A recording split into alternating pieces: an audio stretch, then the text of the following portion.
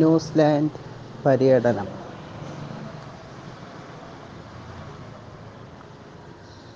ഒരു പത്ത് പന്ത്രണ്ട് വർഷം മുമ്പ്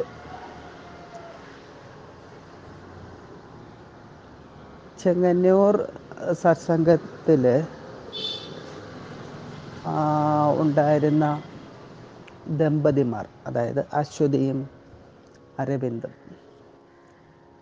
ഇവരുടെ ജോലിയുടെ ഭാഗമായിട്ട് അശ്വതി ഇന്ത്യ വിട്ട് പുറത്തോട്ട് പോവുകയാണ്.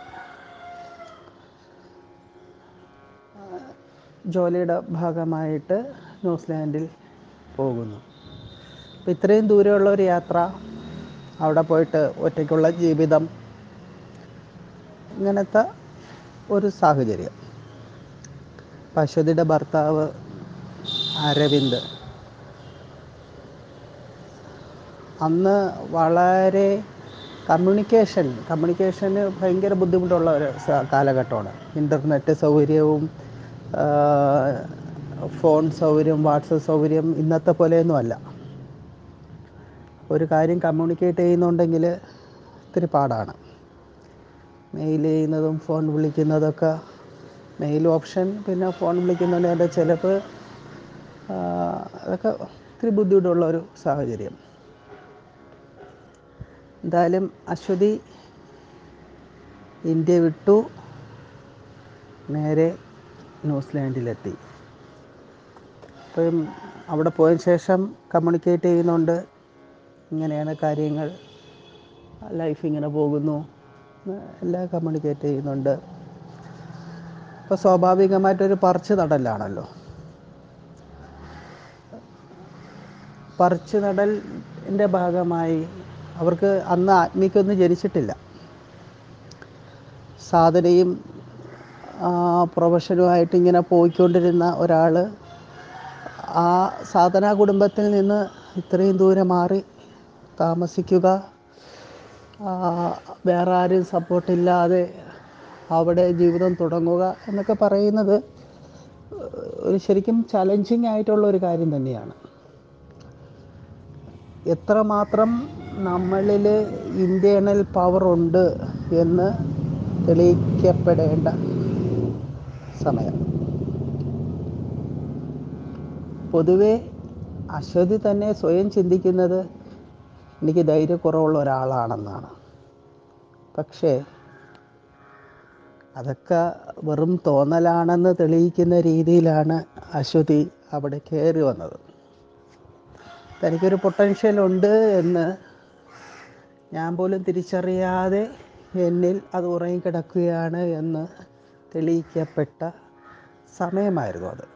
കാരണം വെറുതെ ഒരാൾക്ക് അത് അവിടെ അതിജീവിച്ച് വരാൻ പറ്റില്ല. എന്തെങ്കിലുമൊക്കെ ആ കഴിവുണ്ടെങ്കിൽ മാത്രമേ കയറി വരാൻ പറ്റുള്ളൂ. അശ്വതിയുടെ ഒരു രീതി എന്ന് പറയുന്നത് അക്കാഡമിക്കലി വളരെ ബ്രൈറ്റായിട്ടുള്ള ഒരു ഒരു വ്യക്തിത്വമാണ്. പഠന കാര്യങ്ങളിൽ വളരെ ശ്രദ്ധയും സീരിയസും അതിൽ ആ ഒരു മേഖലയിൽ അതിന്റെ പ്രസന്റേഷനും കാര്യങ്ങളും എല്ലാം അക്കാഡമിക് തലത്തിൽ വളരെയേറെ കയറി വരാൻ കയറി വന്നിട്ടുള്ളതും വന്നുകൊണ്ടിരിക്കുന്നതുമായിട്ടുള്ള ഒരു വ്യക്തിത്വമാണ്. അതുകൊണ്ട് ആ പ്രൊഫഷൻ ബേസിൽ ആൾ വളരെ അതിവേഗത്തിൽ കയറി കയറി കയറി വന്നുകൊണ്ടേയിരുന്നു. എന്നാൽ തന്റെ വ്യക്തി ജീവിതം അല്ലെങ്കിൽ അതായത് തന്റെ കാര്യങ്ങൾ എന്നുള്ള മറ്റ് അക്കാഡമിക് അല്ലാത്ത അതർ സൈഡിൽ അല്പം പുറകിലോട്ടുമാണ് അവിടെയാണ് അശ്വതി അല്പം സ്ലോ ആകുന്ന ഒരവസ്ഥ. എങ്കിലും ഒറ്റയ്ക്കുള്ള ജീവിതത്തിൽ ആൾ ഇതെല്ലാം അതിജീവിച്ച് അതിജീവിച്ച് മുന്നോട്ട് മുന്നോട്ട് കയറി വന്നുകൊണ്ടേയിരുന്നു എപ്രകാരം ഇവൻ ഡ്രൈവിംഗ് പോലും അവിടെ പോയതിന് ശേഷം പഠിക്കുകയും ലൈസൻസ് എടുക്കുകയും വണ്ടി ഓട്ടിക്കുകയും ചെയ്യുന്ന ഒരവസ്ഥയിൽ എത്തി എത്തിയെന്നുണ്ടെങ്കിൽ ജീവിതം എന്തുമാത്രം പാഠങ്ങൾ പഠിപ്പിച്ചു അല്ലെങ്കിൽ ജീവിതം എന്തുമാത്രം മാറ്റങ്ങൾ വരുത്തിച്ചു എന്നുള്ളതിന്റെ എക്സാമ്പിളാണ് കുറച്ച് നാൾ കഴിഞ്ഞപ്പോൾ സ്വാഭാവികമായിട്ടും അശ്വതിയുടെ ഭർത്താവ് അരവിന്ദ് അവിടെ എത്തപ്പെട്ടു. അപ്പോൾ ശരിക്കും ഒരു ഇണയുടെ അല്ലെങ്കിൽ ഇണ എങ്ങനെ തുണയാകുമെന്നുള്ള ഒരവസ്ഥയിലോട്ട് അത് എത്തിപ്പെട്ടു. അരവിന്ദ് ശരിക്കും ഒരു മാതൃകാപരമായിട്ടുള്ള ഒരു ഭർത്താവാണ്. കാരണം ഫാമിലി ഓറിയന്റഡ് ആയിട്ട് തന്നെ ജീവിച്ച് മുന്നോട്ട് പോകുന്ന അതിൽ തന്നെയാണ് സന്തോഷവും ദുഃഖവും എല്ലാം കാണുന്ന ഒരു വ്യക്തിത്വമാണ്. കുടുംബമാണ് അരവിന്ദന്റെ ലോകം. അങ്ങനെ അവരവിടെ എത്തിപ്പെട്ടു. അവരവിടെ ആ ഒരു കാലത്ത് അന്നത്തെ കാലത്ത് അവിടുത്തെ ഫോട്ടോസും അവിടുത്തെ പൂക്കളുടെയും അല്ലെങ്കിൽ അവിടുത്തെ ക്ലൈമറ്റും ജനത അല്ലെങ്കിൽ അവിടെ കൗതുകമായി കാണുന്ന പലതും ഫേസ്ബുക്ക് വഴിയും ഒക്കെ ഇങ്ങനെ അയച്ചു തരുന്ന ഒരു സമയമുണ്ടായിരുന്നു. അപ്പോൾ ഏറ്റവും നമുക്ക് രസവും അല്ലെങ്കിൽ അവരുടെ ആ ആ ഒരു പ്രതീക്ഷ നമുക്ക് സന്തോഷം തോന്നിയത് എന്താന്ന് വെച്ചാൽ ഇവൻ ഒരു പൂവിന്റെ പിക്ചർ അയക്കുമ്പോഴും അശ്വതിയോ അല്ലെങ്കിൽ അരവിന്ദോ പറയുമായിരുന്നു. ഗുരുജിക്ക് ഇതെല്ലാം കാണാം കേട്ടോ. നമുക്ക് ഇതെല്ലാം പോയി കാണണം. ഇങ്ങനെ പറയും.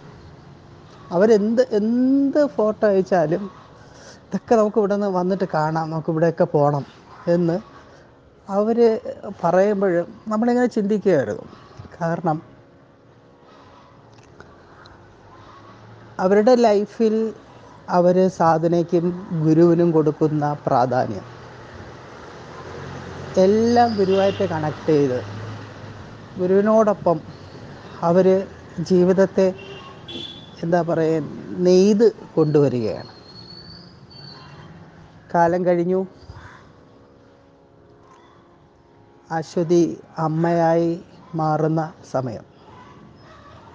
ആത്മിക്കിന്റെ ഓരോ വളർച്ചയും അത് വയറ്റിൽ കിടന്ന് അവനെ പ്രസവിക്കുന്നതിന് മുമ്പുള്ള ഓരോ ഘട്ടവും അവർ ആസ്വദിച്ചുകൊണ്ട് ഒരു വിദേശ രാജ്യത്താണെങ്കിലും മറ്റു തുണയൊന്നും ഇല്ലെങ്കിൽ പോലും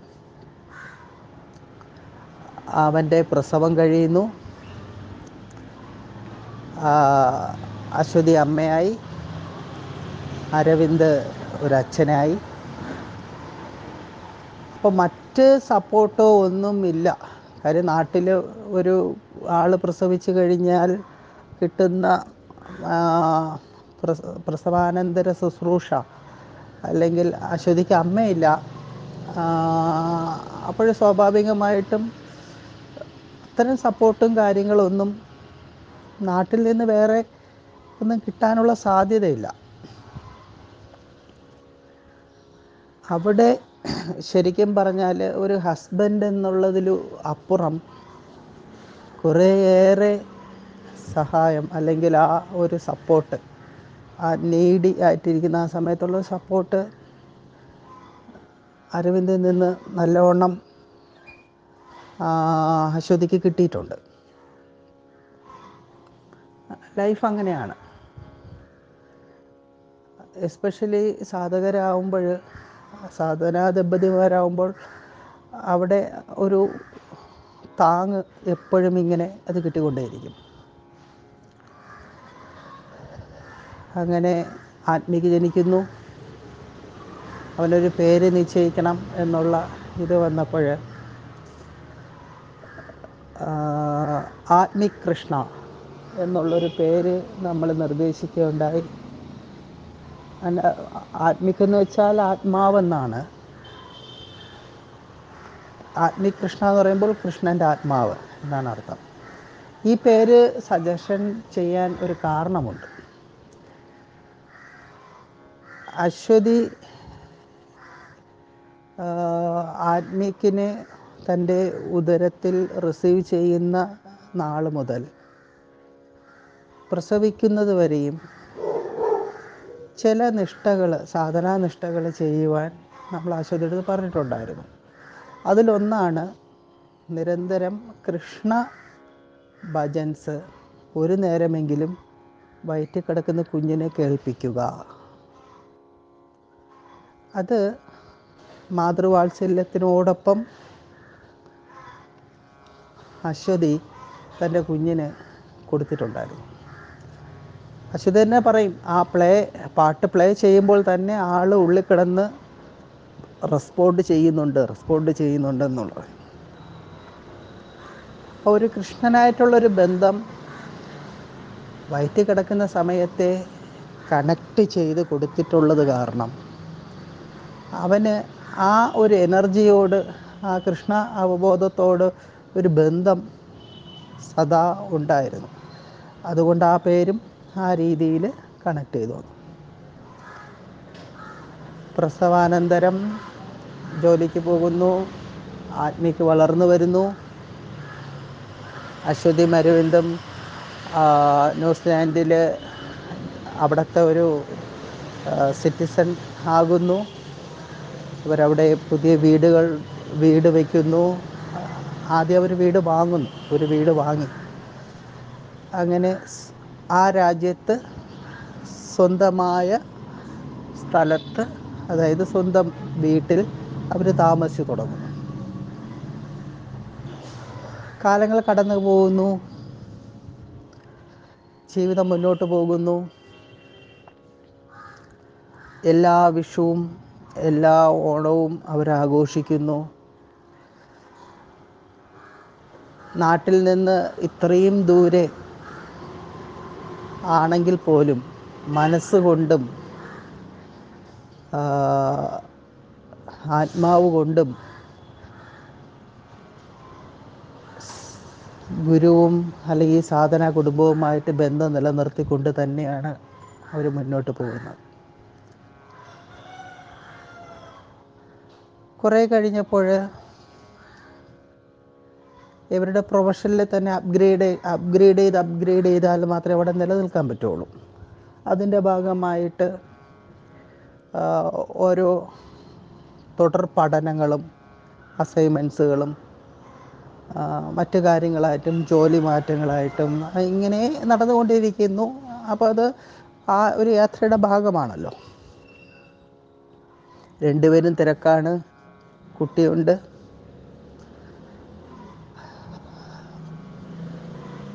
രണ്ടാമതൊരു കുഞ്ഞിനെ പറ്റിയിട്ടുള്ളൊരു ചിന്ത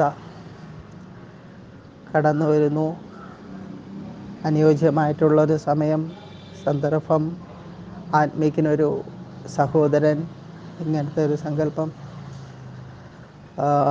ജോലിയുടെ ഇടയിൽ ഇനി ഒരു കുഞ്ഞിനെ മുന്നോട്ട് കൊണ്ടുവരാൻ അല്ലെങ്കിൽ വളർത്തി കൊണ്ടുവരാൻ പറ്റുമോ എന്നുള്ള ആശങ്ക.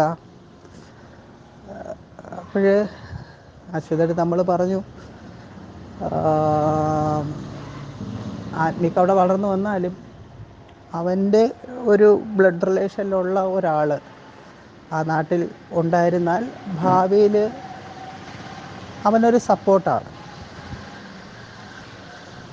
ഇത്തരം കാര്യങ്ങൾ പറയുമ്പോൾ അവിടുത്തെ എന്ത് സാഹചര്യങ്ങളായിരുന്നാലും ഗുരുവിന്റെ വാക്കനുസരിക്കുക എന്നുള്ളത് മാത്രമാണ്. അശ്വതിയും അരവിന്ദും ചെയ്തു പോയിരുന്നത്. പിന്നെ അവിടെ വേറെ അവിടുത്തെ തടസ്സങ്ങളോ കാര്യങ്ങളോ ഒന്നും അതിനെപ്പറ്റി അവർ ചിന്തിക്കാറില്ല. കാരണം ആ അതനുസരിച്ചത് കൊണ്ട് അവർക്ക് ഗുണങ്ങൾ മാത്രമേ സംഭവിച്ചിട്ടുള്ളൂ എന്നുള്ളത് കാര്യം വ്യക്തമായി അവർക്കറിയാമെന്നുള്ളത് കൊണ്ട് അവർ രണ്ടാമത്തെ കുഞ്ഞിന് വേണ്ടിയിട്ട് ചിന്തിക്കുകയും അവിടെ അയാൻ രണ്ടാമത്തെ ആൾ അയാൻ അവനൊരു ശിവഭാവമുള്ള ഒരു കുഞ്ഞാണ്. അയാൻ വരികയും ചെയ്തു. ഈ പണ്ട് വിവേകാനന്ദനൊക്കെ ഭയങ്കര കുറുമ്പ് കാണിക്കുന്ന ഒരാളാണെന്ന് ഭയങ്കര കുറുമ്പ്. എനിക്ക് നമ്മുടെ ആത്മീയത്തിന്റെ നേരെ ഓപ്പോസിറ്റാണ് സ്വഭാവത്തിലും.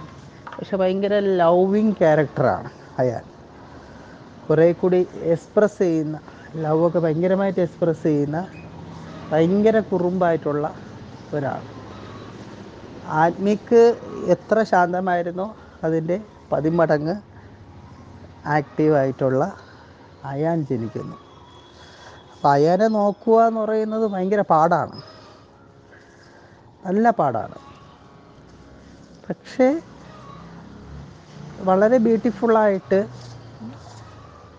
ഈ സാധന ദമ്പതിമാർ അശ്വതിയും അരവിന്ദും. അയാനെ വളരെ മനോഹരമായിട്ട് നോക്കുകയും വളർത്തുകയും അവരുടെ ആ കുടുംബം അതങ്ങനെ മുന്നോട്ട് പോവുകയാണ്. ഇതിലൊക്കെ അപ്പുറം രണ്ട് കുട്ടികളെ ഇവർ വളർത്തിക്കൊണ്ട് വരുമ്പോൾ മറ്റൊരു രാജ്യമാണ് കാര്യം എത്രയോ മലയാളി കുടുംബം ഭാര്യ ഭർത്താവുമായിട്ട് അങ്ങ് പോവുകയും കുട്ടികളെ വളർത്തുകയും ചെയ്തിട്ടുണ്ട് അവിടെ. പക്ഷെ അവർ പലപ്പോഴും എന്തോന്നാണ് ഓണം ആഘോഷിക്കും പിന്നെ ഇതെല്ലാം ആഘോഷിക്കും. ദീപാവലി ഓണം വിഷുവൊക്കെ അവർ ആഘോഷിക്കുമായിരിക്കാം. പക്ഷേ തന്റെ ഒരു ആധ്യാത്മികപരമായിട്ട് കുട്ടികളെ ഒരു രീതിയിലും അവർ കണക്റ്റ് ചെയ്യിപ്പിക്കാറില്ല. ഭാരതത്തിന്റെ പൈതൃകം എന്ന് പറയുന്നത് ആധ്യാത്മികതയാണ്. ഇവർ സാധനാ ദമ്പതിമാരായതുകൊണ്ട് ആ കുട്ടികളിൽ അറിഞ്ഞും അറിയാതെയും ഒരു ആത്മീയമായിട്ടുള്ള ഒരു എലമെന്റ് കണക്ട് ചെയ്ത് നിൽക്കുന്നുണ്ടായിരുന്നു. വളരെ സ്വാഭാവികമായിട്ട് ആണ്. അത് ഫോഴ്സ്ഫുള്ളിയോ ഒന്നുമല്ല. സ്വാഭാവികമായിട്ട് നിലനിൽക്കുന്നുണ്ടായിരുന്നു.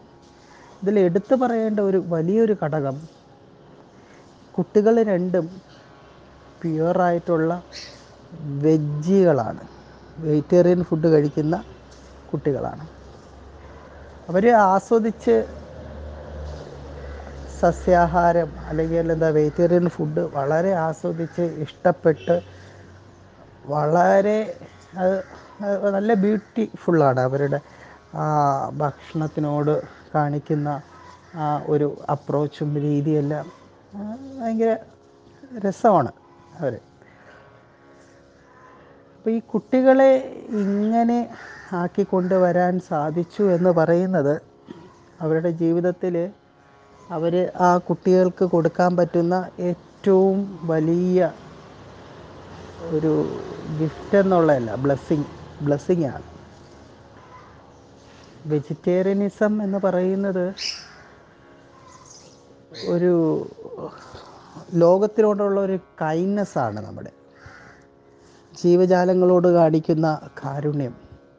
ഇതെല്ലാം സ്നേഹത്തിന്റെ വിലയും കാരുണ്യത്തിന്റെയും സഹാനുഭൂതി കോപ്പറേഷൻ ഇത്തരം മേഖലകളിലോട്ട് നമ്മളെ ഉയർത്തുവാനുള്ള ആദ്യത്തെ പടിയാണ് വെജിറ്റേറിയനിസം അത് ആത്മീയപരമായിട്ട് വളരെ റിലേറ്റ് ചെയ്ത് കിടക്കുന്ന ഒരു സാധനമാണ്. അപ്പോൾ അവർക്ക് തന്റെ കുട്ടികൾക്ക് അത് പകർന്നു കൊടുക്കാൻ സാധിച്ചു എന്ന് പറയുമ്പോൾ ഇതൊരു നിസ്സാര കാര്യമല്ല. മറ്റൊരു രാജ്യത്ത് അവിടുത്തെ സാഹചര്യത്തിൽ അവിടുത്തെ തിരക്കിൽ വളർന്ന് വരുമ്പോഴും അല്ലെങ്കിൽ ജീവിച്ച് വരുമ്പോഴും കുട്ടികളിലോട്ട് അത് അവർ കൊടുക്കാൻ സാധിച്ചു എന്ന് പറയുന്നത് വലിയൊരു കാര്യം. ആത്മിക്കും അയാനും പിന്നെ കാലം കഴിഞ്ഞു. വാട്സപ്പും മറ്റ് സൗകര്യങ്ങളെല്ലാം ഉണ്ടാവുന്നു. ഇതെല്ലാം വന്നപ്പോൾ ഇവരുടെ ഓരോ ഫോട്ടോസും അവരുടെ വളർച്ചയും ചിത്രങ്ങൾ കൂടിയും വീഡിയോയിൽ കൂടിയെല്ലാം ഇങ്ങനെ സദാ അയച്ച് തന്നുകൊണ്ടിരുന്നു. കുട്ടികളെ ഗുരുവായിട്ട് കണക്ട് ചെയ്യുവാൻ അവർ ശ്രമിച്ചു കൊണ്ടിരുന്നു അവർ ഈ നാട്ടിൽ സാധാരണ കുട്ടികൾക്ക് എന്താണ്? നാട്ടിൽ അമ്മൂമ്മയുണ്ട് അപ്പൂപ്പനുണ്ട് അല്ലെങ്കിൽ അങ്കിളുണ്ട് ആന്റിമാരുണ്ട് എന്ന് ഉള്ള തോട്ടിൽ കൂടി നാട്ടിൽ തന്റെ പേരൻസിന്റെ ഗുരുവുമുണ്ട് എന്നുള്ളൊരു തോട്ട് കൊടുക്കുവാൻ ഈ ദമ്പതിമാർക്ക് സാധിച്ചു.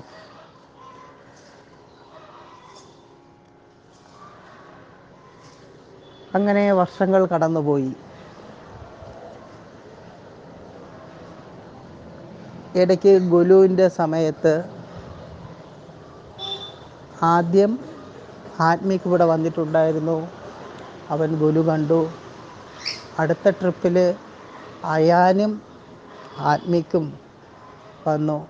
ഇവർ രണ്ടുപേരും ഗുലു ബൊമ്മഗുലു എല്ലാം കണ്ടിട്ടുണ്ടായിരുന്നു. അപ്പോൾ ആ ഗുലുവിന് കാണുന്ന സമയം കഴിഞ്ഞ പ്രാവശ്യം വന്നപ്പോൾ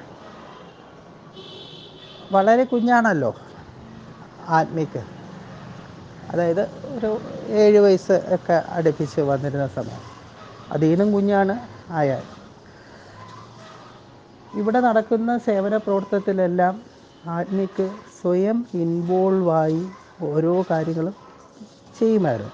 അപ്പോഴിവിടെയുള്ള മറ്റ് സാധകരെല്ലാം പറയുന്നുണ്ടായിരുന്നു. അവൻ എന്ത് സന്തോഷത്തോടെയാണ് ഓരോ സർവീസും ചെയ്യുന്നത്. അവന് ചെയ്യാൻ പറ്റുന്നതിന് അപ്പുറമുള്ള കാര്യങ്ങളാണ് ഇവിടെ വന്ന് സർവീസ് ചെയ്യാൻ നോക്കുന്നത്. അതിന് അവനിതെല്ലാം കൗതുകമാണ്. ഈ കാണുന്ന കാര്യങ്ങളെല്ലാം കൗതുകവുമാണ്. അവനത് ആസ്വദിക്കുന്നുണ്ട്. കൊടുക്കുന്ന ഭക്ഷണമായിരുന്നാലും ഇവിടുത്തെ സൗകര്യത്തിലെല്ലാം അവൻ വളരെ കണക്ട് ചെയ്ത് മറ്റ് സാധകർ എത്രത്തോളം ഇൻവോൾവ് ആയിട്ടാണോ ഈ കാര്യങ്ങൾ ചെയ്യുന്നത്. കാര്യം ഗുലു പോലത്തെ ഫെസ്റ്റിവൽ വരുന്നത് അത് ഒരു വലിയൊരു ഹ്യൂമൻ എഫർട്ട് അവിടെ എടുത്താൽ മാത്രമേ ആ ഒരു പ്രോഗ്രാം വിജയിച്ച് വരത്തുള്ളൂ. കാര്യം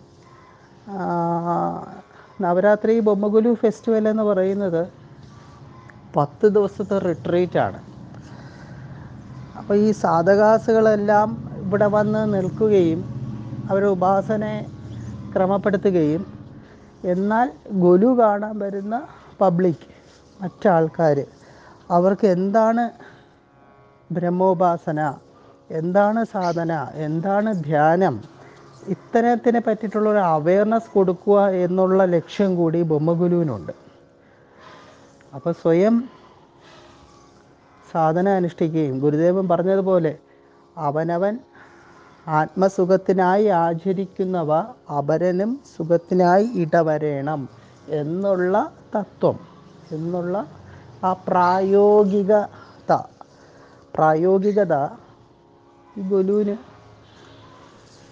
നടക്കുന്നുണ്ട്. അപ്പം അത്തരം ബോധവൽക്കരണം സ്വയം സാധന സേവനം സത്സംഗം സാധന സേവനം സത്സംഗം.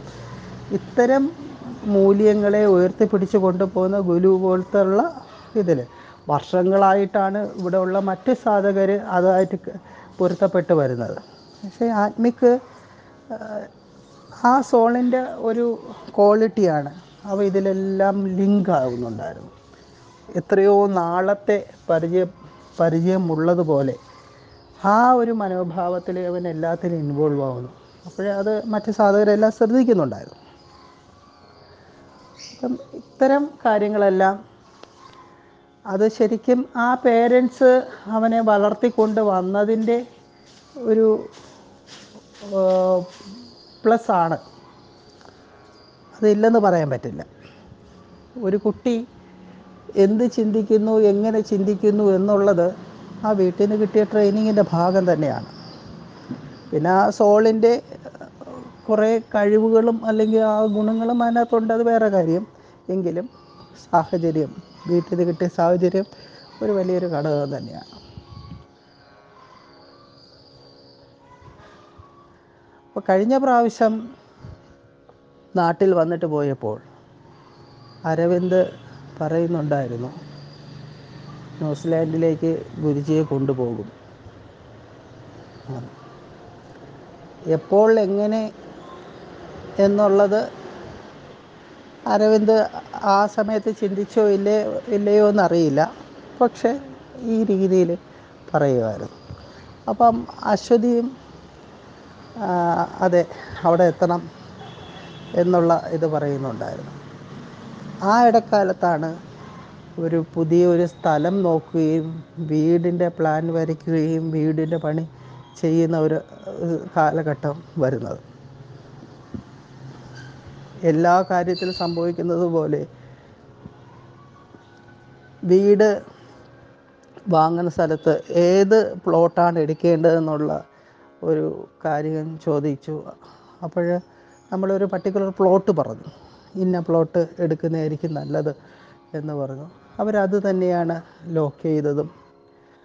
അന്നത്തെ ആ സ്ഥലം വാങ്ങുന്ന അല്ലെങ്കിൽ അത് ലോക്ക് ചെയ്യാൻ വേണ്ടി ഇരിക്കുന്ന സമയത്ത് അരവിന്ദ് തുടർ പഠനത്തിന് വേണ്ടിയിട്ട് ജോലി നിന്ന് റിസൈൻ ചെയ്ത് രണ്ട് വർഷത്തെ ഒരു കോഴ്സൊക്കെ പഠിക്കുന്ന ഒരു സമയമായിരുന്നു. അപ്പോഴാ ഈ വസ്തു വാങ്ങി വീട് വെക്കാനുള്ള ലോണും അടവും കാര്യങ്ങളെല്ലാം ടൈറ്റ് ആവാനുള്ള സാഹചര്യം ഉണ്ടായിരുന്നു. കാര്യം ആ സമയത്ത് അരവിന്ദ് പഠിക്കുന്നു അശ്വതി മാത്രം ജോലി ചെയ്യുന്നു. അങ്ങനത്തെ ഒരു സമയം. എങ്കിലും ആ പ്ലോട്ടിനെ അവർ ലോക്ക് ചെയ്യുന്നു. അതിൽ കുറേ കാര്യമുണ്ട് പറയാൻ നിന്ന് കഴിഞ്ഞാൽ. പിന്നെ കോവിഡിന്റെയൊക്കെ ഒരു കാലഘട്ടങ്ങൾ വരുന്നു. ഇവർക്കത് വാങ്ങാൻ പറ്റുമോ ഇല്ലയോ എന്നുള്ളൊരു ഒരു ഒരവസ്ഥയായിരുന്നു. പക്ഷെ കുറേ നാൾ ഗ്യാപ്പിന് ശേഷം വീണ്ടും ട്രൈ ചെയ്തപ്പോൾ ആ ആ വസ്തു വേറെ ആരും വാങ്ങിയിട്ടില്ല. അത് അവിടെ തന്നെ ഉണ്ടായിരുന്നു. പിന്നെ അതും കൂടി കണ്ടപ്പോൾ അരവിന്ദ് എന്തായാലും അത് നമുക്ക് വിധിച്ചിട്ടുള്ളത് തന്നെയാണെന്നുള്ള ബോധ്യപ്പെടൽ വീണ്ടും മുന്നോട്ട് പോകുന്നു. കാര്യങ്ങളെല്ലാം കണക്ട് ചെയ്ത് വരുന്നു. കാര്യം ഈ ഒരു ഗ്യാപ്പ് വന്നപ്പോൾ ആ സ്ഥലത്തിനെല്ലാം വില കൂടി. പക്ഷേ ഇവരുടെ ഇവരുടെ സ്ഥലത്തിന് ആ ആദ്യം പറഞ്ഞിരുന്ന രീതിയിൽ തന്നെയാണ് ഡീലിംഗ് എല്ലാം നടക്കുന്നത്. അപ്പോൾ ആ വിലയ്ക്ക് തന്നെയാണ് ഇത് വാങ്ങാൻ പറ്റുന്ന ഒരു അവസ്ഥ വരുന്നു. അവിടെ വീട് ഉയർന്നു വരുന്നു. ആ വീട് ഉയർന്നു വന്നപ്പോൾ ആ ലൊക്കാലിറ്റിയിൽ പത്ത് ഇരുപത്തഞ്ച് ആ പ്ലോട്ടിന് പത്ത് ഇരുപത്തഞ്ചോളം വീട് ഉള്ളതിൽ ഏറ്റവും പ്രൈമായിട്ടുള്ള ഒരിടം. താരനാക്കി എന്ന് പറയുന്ന ഒരു വലിയൊരു പർവതം. ആ അതിനെ ഫേസ് ചെയ്തുകൊണ്ടിരിക്കുന്ന വളരെ ബ്യൂട്ടിഫുൾ സ്പോട്ടായിട്ടുള്ള ഒരു വീട്. ആ വീട്ടിൽ ഗുരു കഴിഞ്ഞ് ഇവിടെ നിന്ന് പോകുന്ന സമയം ഗൃഹപ്രവേശനമാണ്. അതിലേക്കുള്ള സാധനങ്ങളും മറ്റു കാര്യങ്ങളെല്ലാം ആയിട്ട് നാട്ടിൽ നിന്ന് അവർ അങ്ങ് പോകുന്നു. ഗൃഹപ്രവേശനം കഴിയുന്നു. അവിടുത്തെ സത്സംഗ ഗ്രൂപ്പുകാർ അവിടെ വന്ന് ഒരുമിച്ച് സാധന ചെയ്യുന്നു. അപ്പോൾ അതിന്റെ ഭാഗമായിട്ട് നമ്മുടെ അങ്ങോട്ടുള്ള യാത്രയുടെ ഭാഗമായിട്ടുള്ള കാര്യങ്ങളെല്ലാം പതുക്കെ പതുക്കെ അരവിന്ദ് മൂവ് ചെയ്യുന്നു.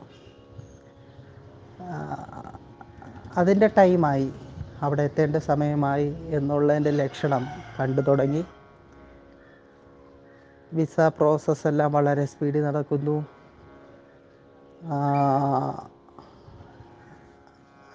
ന്യൂസിലാൻഡിലേക്ക് വരാനുള്ള ടിക്കറ്റുകളെല്ലാം കൺഫേം ആകുന്നു ഫ്ലൈറ്റ് ടിക്കറ്റുകളെല്ലാം കൺഫേം ആകുന്നു.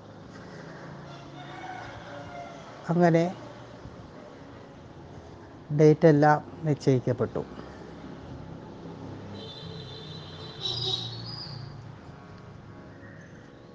നമ്മുടെ കൂടെ കുട്ടാച്ചൻ അരവിന്ദിന്റെ അളിയൻ അശ്വതിയുടെ അനിയൻ. കുട്ടാച്ചനും കൂടി ട്രാവൽ ചെയ്യുന്നുണ്ടായിരുന്നു. അങ്ങനെ മറ്റ് കാര്യങ്ങളെല്ലാം ഇതിന്റെ മറ്റ് പേപ്പർ വർക്ക് മറ്റ് കാര്യങ്ങളെല്ലാം അരവിന്ദ് വളരെ കൃത്യതയോടെ കാര്യങ്ങൾ ചെയ്തു. അതിനെ സപ്പോർട്ട് ചെയ്ത് ബാലു ഇവിടുത്തെ പേപ്പർ വർക്കും മറ്റേ വിസയും പാസ്പോർട്ടും കാര്യങ്ങളും അതെല്ലാം കണക്ട് ചെയ്ത് ബാലു ചെയ്യുന്നുണ്ട്. എല്ലാ യാത്രയുടെയും ഇത്തരം കാര്യങ്ങളെല്ലാം നോക്കുന്നത് ബാലുജിയാണ്. ഇപ്പോൾ ബാലുവും അരവിന്ദും കമ്മ്യൂണിക്കേറ്റ് ബാക്കി കാര്യങ്ങളെല്ലാം ആയി.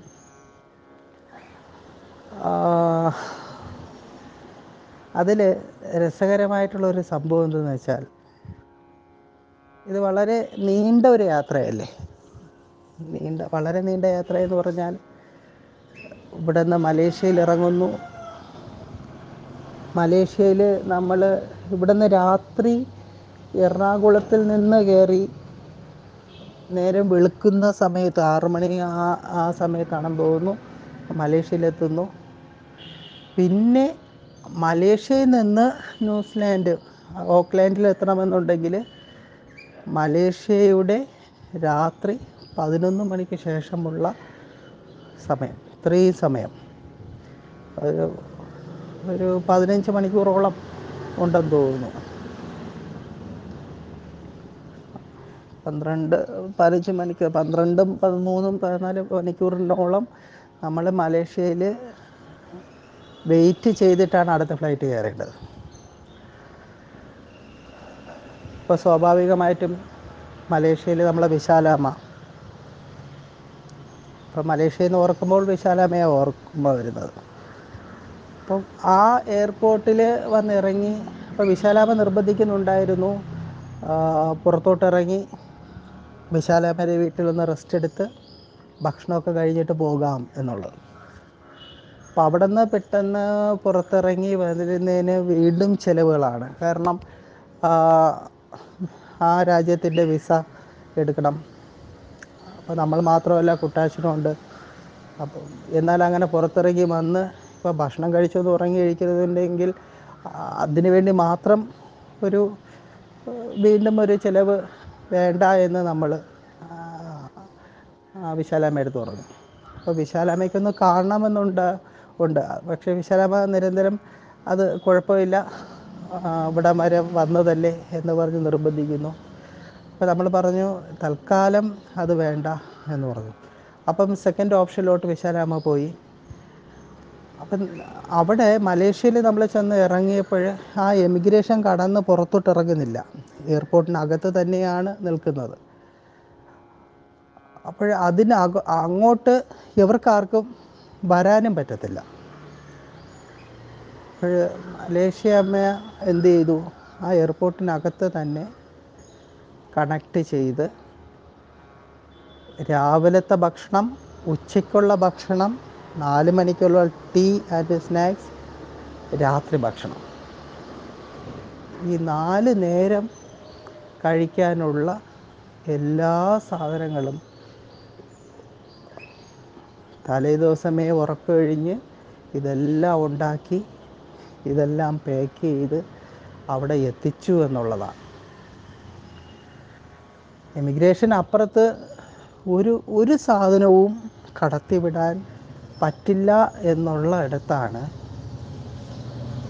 വിശാലാമ്മയുടെ ആ മാതൃത്വം ആ സ്നേഹം ഈ നിയമങ്ങളെല്ലാം അതിജീവിച്ച് ഭക്ഷണപദാർത്ഥമായി അവിടെ എത്തി. ഭക്ഷണമായി എത്തിയത് ഉപരി ആ എയർപോർട്ടിനകത്ത് തന്നെ ഒരു റൂം ഒരാളായിട്ട് കണക്ട് ചെയ്ത് അതായത് നമുക്ക് അവിടെ വന്നാൽ ഒന്ന് റെസ്റ്റ് എടുക്കുവാൻ ഉറങ്ങി എഴിച്ച് വരാൻ വേണ്ടി ഒരു ഒരു വലിയൊരു പോഷായിട്ടുള്ള റൂം അറേഞ്ച് ചെയ്തു. അപ്പോൾ തലേദിവസം ഉറക്കമൊഴിച്ചിട്ടുള്ള യാത്ര അല്ലേ? ആ റൂം വന്നു. റൂമിൽ തന്നെ വൈഫൈയും മറ്റ് സൗകര്യങ്ങളെല്ലാം ഉണ്ട്. കമ്മ്യൂണിക്കേറ്റ് ചെയ്യാൻ പറ്റുന്നുണ്ട്. അവിടെ വന്ന് ഇറങ്ങിയപ്പോൾ തന്നെ അശ്വതി അരവിന്ദ് എല്ലാം വിളിച്ചിട്ടുണ്ടായിരുന്നു. എന്തായി? ഓക്കെ ആണോ എന്നൊക്കെ പറഞ്ഞ്. അപ്പോൾ ഈ ട്രാവൽ ചെയ്ത് വരുമ്പോൾ നമ്മുടെ ടൈമിംഗ് എല്ലാം മാറുകയല്ലേ? അപ്പോൾ നാട്ടിലുള്ള സമയം വേറെ നമ്മളവിടെ നിൽക്കുന്ന മലേഷ്യയുടെ സമയം വേറെ അശ്വതി അരവിന്ദ് സംസാരിക്കുന്ന ന്യൂസിലാൻഡ് സമയം വേറെ. അപ്പോൾ കമ്മ്യൂണിക്കേറ്റ് ഇന്ത്യയിലോട്ടായിരുന്നാലും ന്യൂസിലാൻഡിലോട്ടായിരുന്നാലും വിശാലാമ്മ മലേഷ്യയിലോട്ടായിരുന്നാലും നമ്മൾ കമ്മ്യൂണിക്കേറ്റ് ചെയ്യുന്നത് മൂന്ന് പേരും ഒരേ സമയം സംസാരിക്കുന്ന മൂന്ന് ടൈം സോണിൽ നിന്നാണ്. അതാണ് അതിന്റെ ഒരു ബ്യൂട്ടി അങ്ങനെ കമ്മ്യൂണിക്കേഷൻ നടക്കുന്നു.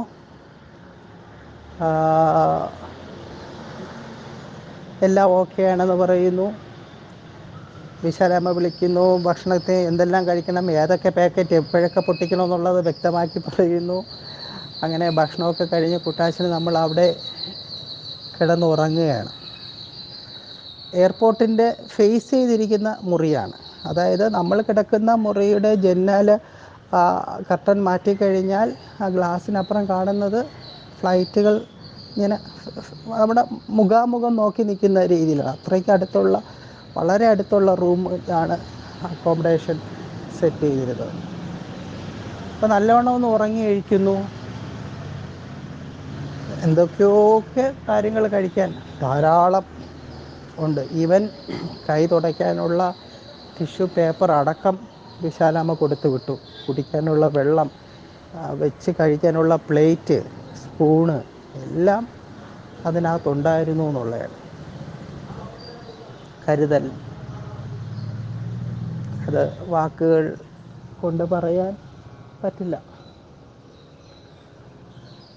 അവസാനം ഭക്ഷണം കഴിച്ചു. ഇടയ്ക്ക് വീണ്ടും അരവിന്ദ് വിളിക്കുന്നുണ്ട്.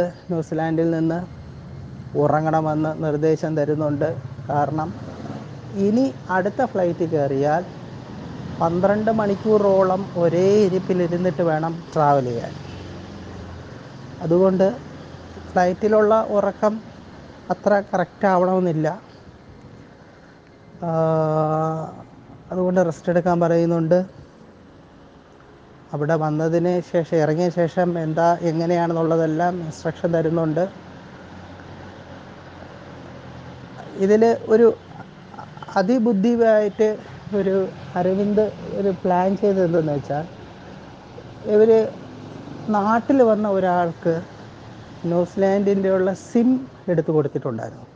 അപ്പോൾ അവിടുത്തെ സിം കുട്ടാശൻ ഫോണിലിട്ടിട്ടുണ്ട് അത് കാരണം ന്യൂസിലാൻഡിൽ ചെന്ന് ഇറങ്ങി ആ ഓക്ലാൻഡിൽ ചെന്ന് ഇറങ്ങിയ ഉടൻ നമ്മളെ കമ്മ്യൂണിക്കേറ്റ് ചെയ്യുവാനുള്ള ഓപ്ഷൻ ചെയ്തിട്ടുണ്ട്. അതുകൊണ്ട് ആ കമ്മ്യൂണിക്കേഷൻ പക്കയായിരിക്കും. അതുകൊണ്ട് അതിൽ വേറെ വിഷയമൊന്നുമില്ല. എന്തായാലും നമ്മൾ വീണ്ടും ഭക്ഷണം കഴിഞ്ഞ ശേഷം ഉറങ്ങി എണീറ്റ് ചായയൊക്കെ ഇട്ട് കുടിച്ചു. അതിലെല്ലാ സംഭവം ഉണ്ടായിരുന്നു. ചായയൊക്കെ കുടിച്ച് അങ്ങനെ ഇരിക്കുന്നു. അടുത്ത ട്രാവലിന് വേണ്ടിയിട്ട് കുളിച്ച് ഡ്രസ്സ് ചെയ്ത് ആ റൂം വെക്കേറ്റ് ചെയ്ത് അവിടെ നിന്ന് പുറത്തോട്ടിറങ്ങി എയർപോർട്ടിൽ മലേഷ്യൻ എയർപോർട്ടിൽ വീണ്ടും ഇരിക്കുന്നു. അപ്പോൾ ആ വൈഫൈയിൽ കൂടി ഫ്ലൈറ്റിൽ കയറുന്നതിനെ പറ്റിയിട്ടെല്ലാം അരവിന്ദിനോട് ആശ്രയത്തെടുത്ത് പറയുന്നു. അപ്പോൾ ഇവരെല്ലാവരും നൈറ്റ് ഡ്യൂട്ടിയെല്ലാം കഴിഞ്ഞ് നിൽക്കുന്ന സമയത്താണ് കമ്മ്യൂണിക്കേറ്റ് ചെയ്യുന്നത്. എന്തായാലും മലേഷ്യയിൽ നിന്ന് ഫ്ലൈറ്റിൽ കയറി അടുത്ത ട്രാവൽ തുടങ്ങി. പന്ത്രണ്ട് മണിക്കൂർ. നമ്മൾ രാത്രി ആണ് ഈ ഫ്ലൈറ്റിൽ കയറുന്നത്. രാത്രി മലേഷ്യൻ സമയം പതിനൊന്ന് മണിക്ക് ശേഷം. അങ്ങനെ അത് കയറി മിഡ് നൈറ്റിൽ ചോറ് കൊണ്ടു തരുന്നു. അത് കഴിക്കുന്നു. ഇരുന്നുറങ്ങുന്നു ഉറങ്ങുന്നു. വീണ്ടും എപ്പോഴോ ഇഴിക്കുന്നു അപ്പം ഈ ഫ്ലൈറ്റിന്റെ പിന്നെ ജനലുകളെല്ലാം അടച്ചിട്ടേക്കാണ്. രാത്രിയാണോ പകലാണോ ഒന്നും അറിയില്ല. ഇടയ്ക്കൊന്ന് ഇങ്ങനെ ജനലിന്റെ ഷട്ടർ പൊക്കി നോക്കുമ്പോൾ പകലാണെന്നറിയാം. എത്ര മണിയാണെന്നൊന്നും അറിയാൻ സാധിക്കുന്നില്ല. ഫോണിലൊന്നും ആ ടൈ ടൈമൊന്നും സെറ്റ് ചെയ്തിട്ടില്ലായിരുന്നു. ഇടയ്ക്ക് അനൗൺസ്മെന്റിൽ ടൈമൊക്കെ പറയും. പിന്നെ ഒന്ന് ഇരുന്ന് അങ്ങനെ ഉറങ്ങി ഏതോ ഒരു സമയത്ത് എഴിക്ക് എഴിക്കുന്നു. എഴിക്കുന്ന സമയത്ത് വീണ്ടും അടുത്ത ഭക്ഷണം വരുന്നു. അത് കഴിക്കുന്നു. വീണ്ടും ഇരുന്ന് ഉറങ്ങുന്നു. ഇങ്ങനെ ഉറങ്ങിയും ഇരുന്നും കഴിച്ചും മണിക്കൂറുകൾ ഇങ്ങനെ കടന്നു പോവുകയാണ്. അതെല്ലാം കഴിഞ്ഞ്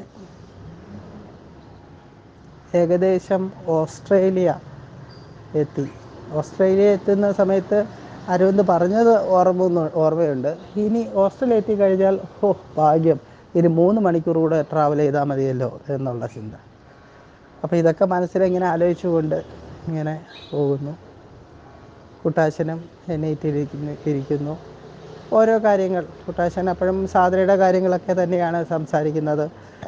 ആ കാര്യങ്ങളെല്ലാം സംസാരിച്ച് ഇങ്ങനെ ട്രാവൽ ചെയ്ത് ട്രാവൽ ചെയ്ത് അവസാനം ന്യൂസിലാൻഡിലേക്ക് ഫ്ലൈറ്റ് ചെന്നിറങ്ങുന്നു. ഇത്രയും ലോങ് ട്രാവൽ കുട്ടാച്ചന് കുട്ടാച്ചൻ ഈ ലോങ് ട്രാ നമുക്കും ഈ ലോങ് ട്രാവൽ ആദ്യമായിട്ടാണ്. എന്നാൽ കുട്ടാച്ചനെ സംബന്ധിച്ചിടത്തോളം ഇന്ത്യ വിട്ടുള്ള ഒരു ഫ്ലൈറ്റ് യാത്രയിൽ തന്നെ ആദ്യത്തെ യാത്രയിൽ ഇത്രയും ലോങ് ആയിട്ടുള്ള ഒരു യാത്രയും കൂടിയാണ്. എന്തായാലും അവിടെ വന്നിറങ്ങി സേഫായിട്ട് വന്നിറങ്ങി. അരവിന്ദ് വിളിക്കുന്നുണ്ട്. ആ, സംസാരിക്കുന്നുണ്ട്. കൂട്ടാശനവിന്റെ അവർ കമ്മ്യൂണിക്കേറ്റ് ചെയ്യുന്നുണ്ട്. ഇനിയുള്ള കടമ്പ ആ എയർപോർട്ടിനകത്ത് നിന്ന് നമ്മുടെ ലഗേജ് എടുത്ത് അവിടെ നമ്മുടെ ലഗേജിൽ എന്തൊക്കെയാണ് ഉണ്ട് എന്നുള്ളത് അവിടെ ബോധ്യപ്പെടുത്തിയിട്ട് വേണം പുറത്തിറങ്ങുവാൻ. അത് കുറച്ച് അവിടുത്തെ ഒരു വളരെ ചടങ്ങ് പിടിച്ച ഒരു കാര്യമാണ്. ആ രാജ്യത്തിൽ കുറേ കാര്യങ്ങൾ കൊണ്ടുവരാൻ പാടില്ല. എന്നുണ്ട്. ഇനി കൊണ്ടുവരുന്നുണ്ടെങ്കിൽ അവരെ ബോധ്യപ്പെടുത്തണം. അപ്പോൾ അതൊക്കെ ആ ഒരു പ്രോസസ്സിലോട്ട് കടന്നു പോകുന്നു അതെല്ലാം വിജയിച്ച് വിജയിച്ച് വിജയിച്ച് പുറത്തോട്ടിറങ്ങി.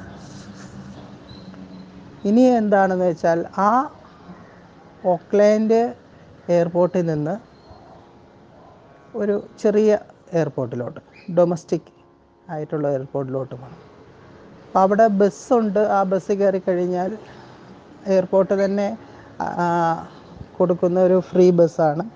അതിൽ കയറി അപ്പുറത്തോട്ട് ഇറങ്ങാം. പക്ഷേ നമ്മളും കുട്ടാച്ചനും കൂടെ എന്ത് ചെയ്തു? എന്തായാലും ഇത്ര നേരം ഇരുന്ന് വന്നതല്ലേ? നമുക്ക് നടക്കാം എന്ന് പറഞ്ഞു. അപ്പോൾ അവിടെ ഒരു ഗ്രീൻ ആണെന്ന് തോന്നുന്നു. ഗ്രീൻ ഒരു ലൈനുണ്ട്. ആ ലൈന് നോക്കി നമ്മൾ നടന്നാൽ നേരെ ചെന്നെത്തുന്നത് ആ ഡൊമസ്റ്റിക് എയർപോർട്ടിലാണ് അങ്ങോട്ട് നടക്കുന്നു. ഒരു പത്ത് പന്ത്രണ്ട് മിനിറ്റ് കൊണ്ട് നടന്ന് നമ്മൾ അവിടെ എത്തി. അവിടെ എത്തി. അതൊരു കുഞ്ഞ് എയർപോർട്ടാണ് ഇവിടെ നിന്നൊരു മുക്കാൽ മണിക്കൂറും കൂടെ വീണ്ടും അടുത്തൊരു ഫ്ലൈറ്റിൽ കയറി വേണം ഈ ന്യൂസിലാൻഡ്. ശരിക്കും പറഞ്ഞാൽ ന്യൂസിലാൻഡ് ഓക്ലാൻഡിൽ നിന്ന് ന്യൂ പ്ലൈമൗത്ത് എന്ന് പറയുന്ന ഇവരുടെ ആ സ്ഥലത്തുള്ള എയർപോർട്ടിലെത്താൻ കൊച്ചിയിൽ നിന്ന് മലേഷ്യയിലോട്ട് എത്തിയ ഫ്ലൈറ്റിനെ കാട്ടിയും വലുതായിരുന്നു മലേഷ്യ ടു ഓക്ലാൻഡ് അതൊരു ജെറ്റ് ആണ്. അപ്പം ഒത്തിരി ആൾക്കാരെ വഹിച്ചു കൊണ്ടുപോകുന്ന ഏറ്റവും വലിയ ഒരു ഫ്ലൈറ്റായിരുന്നു അതിൽ നിന്ന് ഈ ഓക്ലാൻഡ് ടു പ്ലൈ ന്യൂ പ്ലൈമൗത്തിലോട്ടുള്ള ഒരു ട്രാവൽ എന്ന് വെച്ചാൽ ഒരു കുഞ്ഞ് വളരെ കുഞ്ഞ്. അപ്പോൾ നമുക്കൊരു കളിപ്പാട്ടിനകത്തിരിക്കുന്ന ഒരു ഫീലാണ് അതുണ്ടാവുന്ന നല്ല രസമുണ്ട് അത്. ഓക്ലാൻഡ് ടു ന്യൂ പ്ലൈമൗത്തിലോട്ടുള്ള യാത്ര ആ ഫ്ലൈറ്റ് പൊങ്ങുമ്പോൾ തന്നെ പിന്നെ നമ്മൾ മൊത്തം കാണുന്ന കടലാണ്. കടലേ കാണാനുള്ളൂ. കാര്യം വളരെ ഈ കടലിന് ചുറ്റപ്പെട്ട രാജ്യമാണല്ലോ ഇത്. നമ്മൾ കടൽ മാത്രമാണ് കാണുന്നത്. അങ്ങനെ ന്യൂ പ്ലേ ഭവത്തിൽ നിന്ന് ഇറങ്ങുന്നു. പുറത്തിറങ്ങി അവിടെ രാത്രി ഏഴ് മണി ഏഴരയൊക്കെ ആണെന്ന് തോന്നുന്നു അവിടെ എത്തിപ്പെട്ട സമയം. അശ്വതിയും രണ്ട് കുട്ടികളും അരവിന്ദും എയർപോർട്ടിന്റെ അവിടെ ഉണ്ട്. നമ്മൾ രണ്ടുപേരും ഇറങ്ങി നടക്കുന്നു. നല്ല തണുപ്പുണ്ട്. അങ്ങനെ തണുപ്പ് അറിഞ്ഞുകൊണ്ടുള്ള ഒരു നടത്തം. അവിടെ വന്ന് എയർപോർട്ടിനകത്തോട്ട് അതായത് നടന്ന് എയർപോർട്ടിനകത്തോട്ട് എത്തിയപ്പോൾ അശ്വതിയും അരവിന്ദും കുട്ടികളും മനോഹരമായിട്ടുള്ള ആ നാട്ടിലുള്ള ഫ്ലവർ തന്ന് സ്വീകരിച്ചു. അങ്ങനെ കുറേ വർഷങ്ങൾക്ക് ശേഷം കാണുന്ന നേരിട്ടുള്ള കാഴ്ച. ഗാഠമായ സ്നേഹപ്രകടനം സന്തോഷം ഇതെല്ലാം പങ്കുവെച്ച് ലഗേജ് എല്ലാം അവർ കൊണ്ടുവന്ന വണ്ടിയിൽ വെച്ച് അവിടെ നിന്ന് ഒരു ഇരുപത് ഇരുപത്തി ഒരു മുപ്പത് മിനിറ്റിനുള്ളിൽ ട്രാവൽ ചെയ്താൽ എത്തുന്ന വീട്ടിലെത്തും. അങ്ങനത്തെ ഒരു ചെറിയൊരു കുഞ്ഞ് ട്രാവൽ ഒരു ഡ്രൈവിംഗ് ആണ്. അങ്ങനെ വണ്ടിയിൽ കയറി അവരാ നാട് അവിടെ റോഡ് അതെല്ലാം കാഴ്ചകൾ കണ്ടുകൊണ്ട് അവരെന്ത് പറയുന്നുണ്ട് നമ്മളിവിടെ നിന്ന് ഇങ്ങനെയാണ് പോകുന്നത്. ഇവിടെ സ്കൂളുണ്ട് ഹോസ്പിറ്റലുണ്ട് ഇങ്ങനെ ഇങ്ങനെ ഇങ്ങനെ ഇങ്ങനെ ഓരോരോ കാര്യങ്ങൾ ഇങ്ങനെ പറഞ്ഞുകൊണ്ട് നേരെ അപ്പോൾ ഇരുട്ടാണ്. ആ വളരെ വിജനമായിട്ടുള്ള റോഡാണ്. ആ നാട് വളരെ തിരക്ക് കുറഞ്ഞ ഒരു സ്ഥലമാണ്. അങ്ങനെ നേരെ ഒരു വീട്ടിലോട്ട് പോകുന്ന സ്ഥലമെത്തി. അപ്പോൾ പറയുന്നുണ്ട് ഇവിടുത്തെ ഏക ഹോസ്പിറ്റലാണ്. ഈ ഹോസ്പിറ്റലിന്റെ പേര് ഓർമ്മിച്ചിരുന്നാൽ നമ്മളവിടെ വരാൻ എളുപ്പമാണ് എന്നൊക്കെ പറയുന്നുണ്ട്. അവിടുത്തെ ലാൻഡ് മാർക്കുകളും മറ്റെല്ലാം പറയുന്നുണ്ട്. പിന്നെ ആ ഇരുട്ടത്ത് ചൂണ്ടി കാണിച്ചുകൊണ്ട് പറഞ്ഞത് ആ ഇവിടെ ഒരു മലയുണ്ട് താരനാക്കി മല. അതിപ്പോഴും രാത്രിയോട് കാണാൻ പറ്റാത്തതാണ്. നാളെ രാവിലെ ആകുമ്പോൾ അത് കാണാം എന്ന് പറയും അപ്പോൾ വിദൂരത്തെ ഇരുട്ടത്ത് ചൂണ്ടിക്കാണിച്ച് അരവിന്ദ് പറയുമ്പോൾ നമ്മൾ ഗസ് ചെയ്യുന്നുണ്ട്. എങ്ങനെയായിരിക്കും ആ മല ഉണ്ടാവുക എന്നുള്ളത്. എന്തായാലും അത് മല അവിടെ തന്നെ കാണുമല്ലോ നാളെ ആയാലും. പകൽ വെട്ടത്ത് കാണാം എന്നുള്ളതിൽ നേരെ വീട്ടിലോട്ട് കാറെത്തി. വർഷങ്ങൾക്ക് മുമ്പ് നമ്മൾ പോയിന്റ് ചെയ്ത ആ പ്ലോട്ട് ഇന്ന് അതൊരു വീടായിരിക്കുന്നു. ആ വീട്ടിലേക്കുള്ള പ്രവേശിക്കുകയാണ്. നേരത്തെ അറേഞ്ച് ചെയ്തിരുന്ന അതായത് ഇവർ എയർപോർട്ടിലോട്ട് വരുന്നതിന് മുമ്പ് അവിടെ പാദപൂജയ്ക്ക് വേണ്ടി കരുതി വെച്ചിരുന്ന എല്ലാ സാധനങ്ങളും ആത്മിക്കും അശ്വതിയായിട്ട് അതെടുക്കുന്നു. അശ്വതിയും അരവിന്ദും തന്റെ ഗുരുവിനെ ആ വീട്ടിലേക്ക് ക്ഷണിക്കുകയാണ് പാദപൂജ വഴി. ഇതിൽ ഏറ്റവും അതിശയകരമായി തോന്നിയ ഒരു കാര്യം.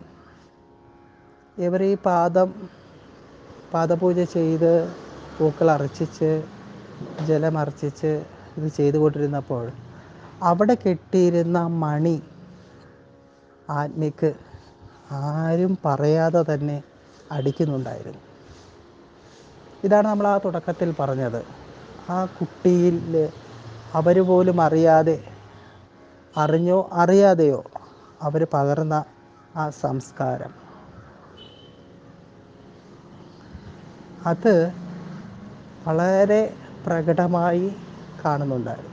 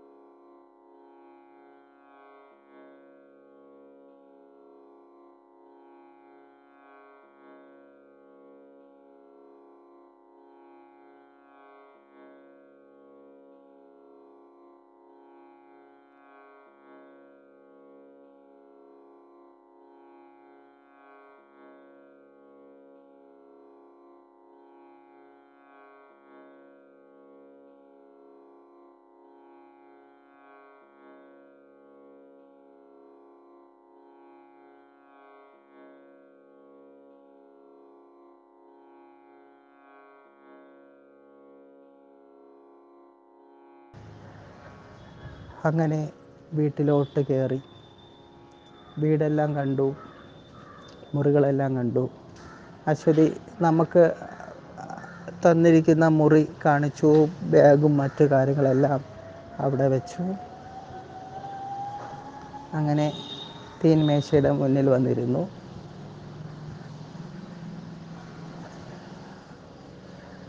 രാത്രി ഭക്ഷണം കഴിഞ്ഞ് ഒരു ലോങ് ആയിട്ടുള്ളൊരു യാത്ര കഴിഞ്ഞ് വന്നതല്ലേ? അപ്പോൾ ഒന്ന് കിടന്നിട്ട് നാളെ രാവിലെ ഒക്കെ സംസാരിക്കാമെന്ന് അരവിന്ദ് പറയുന്നുണ്ടായിരുന്നു. എങ്കിലും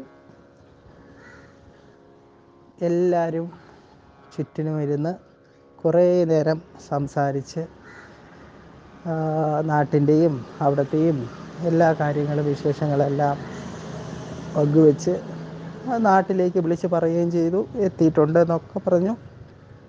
അങ്ങനെ ന്യൂസിലാൻഡിലെ ആദ്യത്തെ ദിവസം അവിടെ കിടന്ന് ഉറങ്ങുകയാണ്. ഉറങ്ങി പിറ്റേ ദിവസം രാവിലെ എണീക്കുന്നു. അശ്വതി അരവിന്ദും ലീവാണ്. അപ്പം നമ്മുടെ ആ മുറിയിൽ വലതുവശത്തായിട്ട് കാണുന്ന വലിയ കണ്ണാടി ഗ്ലാസ്. അതിൽ കൂടി നേരെ കാണുന്നത് ഇന്നലെ ഇരുട്ടത്ത് ചൂണ്ടിക്കാണിച്ച താരാനാക്കി പർവതമാണ്. വളരെ ബ്യൂട്ടിഫുള്ളായിട്ടുള്ള മൗണ്ട് എവറസ്റ്റ് പോലെ തോന്നിക്കുന്ന രീതിയിലുള്ള ഒരു പർവതം. അപ്പോഴേക്കും അശ്വതി ചായ ഇട്ടിട്ടുണ്ടായിരുന്നു അടുക്കളയിൽ നിന്ന് നോക്കിയാലും ആ പർവതം കാണാം. തീൻമേശയിൽ അവിടെ ഇരുന്ന് നോക്കിയാലും ആ പർവതം കാണാം. വളരെ യൂണിക്കായിട്ടുള്ള ഒരു ബ്യൂട്ടി നല്ല തണുപ്പുണ്ട്. പതിനഞ്ച് ഡിഗ്രിയോളം തണുപ്പാണ് ആ സമയത്ത്. അങ്ങനെ ന്യൂസിലാൻഡ് അശ്വതി അരവിന്ദിന്റെ കൂടെയുള്ള കുറച്ച് നാൾ അവിടെ തുടങ്ങുകയാണ്. കുട്ടികളെല്ലാം എണീറ്റ് വന്നു. എല്ലാവരും ഒരുമിച്ചിരിക്കുന്നു. കുട്ടികൾക്ക് എന്താ പറയാൻ സ്കൂളുണ്ട്. അപ്പോൾ അവരെ സ്കൂളിൽ വിടുന്നതിന്റെ തിരക്കുകളും മറ്റു കാര്യങ്ങളുമായിട്ടുള്ള ദിവസങ്ങൾ ആരംഭിക്കുന്നു. മൂന്ന് മാസത്തെ ജീവിതം ന്യൂസിലാൻഡിൽ അവിടെ തുടങ്ങുകയാണ്. വളരെ ബ്യൂട്ടിഫുൾ ആയിട്ടുള്ളൊരു നാട്. അപ്പോൾ ഡീറ്റെയിൽ ആയിട്ട് പറയാൻ നിന്ന് കഴിഞ്ഞാൽ ഒത്തിരി ഉണ്ട്. എന്നാലും നമ്മുടെ സമയപരിമിതി നിലനിർത്തിക്കൊണ്ട് പറയാൻ ശ്രമിക്കാം. കരിപ്പഴേ അമ്പത് മിനിറ്റോളം കഴിഞ്ഞിരിക്കുന്നു. അപ്പം ഈ രീതിയിൽ മൂന്ന് മാസത്തെ വർണന ഒരിക്കലും നമുക്ക് പറഞ്ഞ് തീർക്കാൻ പറ്റില്ല.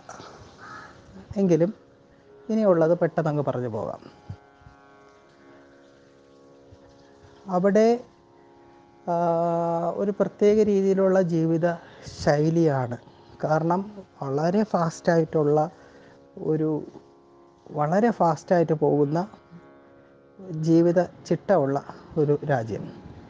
ഇവരുടെ വർക്കിംഗ് അവേഴ്സ് അങ്ങനെയാണ് കുട്ടികളുടെ സ്കൂൾ ടൈമിംഗ് അങ്ങനെയാണ്.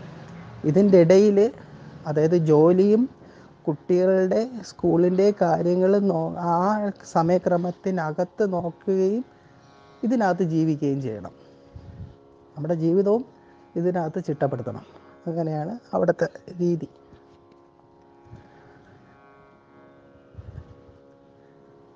ആ, മുന്നോട്ടുള്ള കാര്യങ്ങൾ എങ്ങനെയാണെന്നുള്ള ഒരു കാര്യങ്ങളാണ് പിന്നെ ഉള്ള ഡിസ്കഷൻ അപ്പം മെഡിറ്റേഷനോട് താല്പര്യമുള്ള കുറച്ച് ആൾക്കാർ അശ്വതി അരവിന്ദായിട്ട് കമ്മ്യൂണിക്കേറ്റ് ചെയ്തിട്ടുണ്ടായിരുന്നു. അപ്പോൾ അശ്വതി അവരുടെ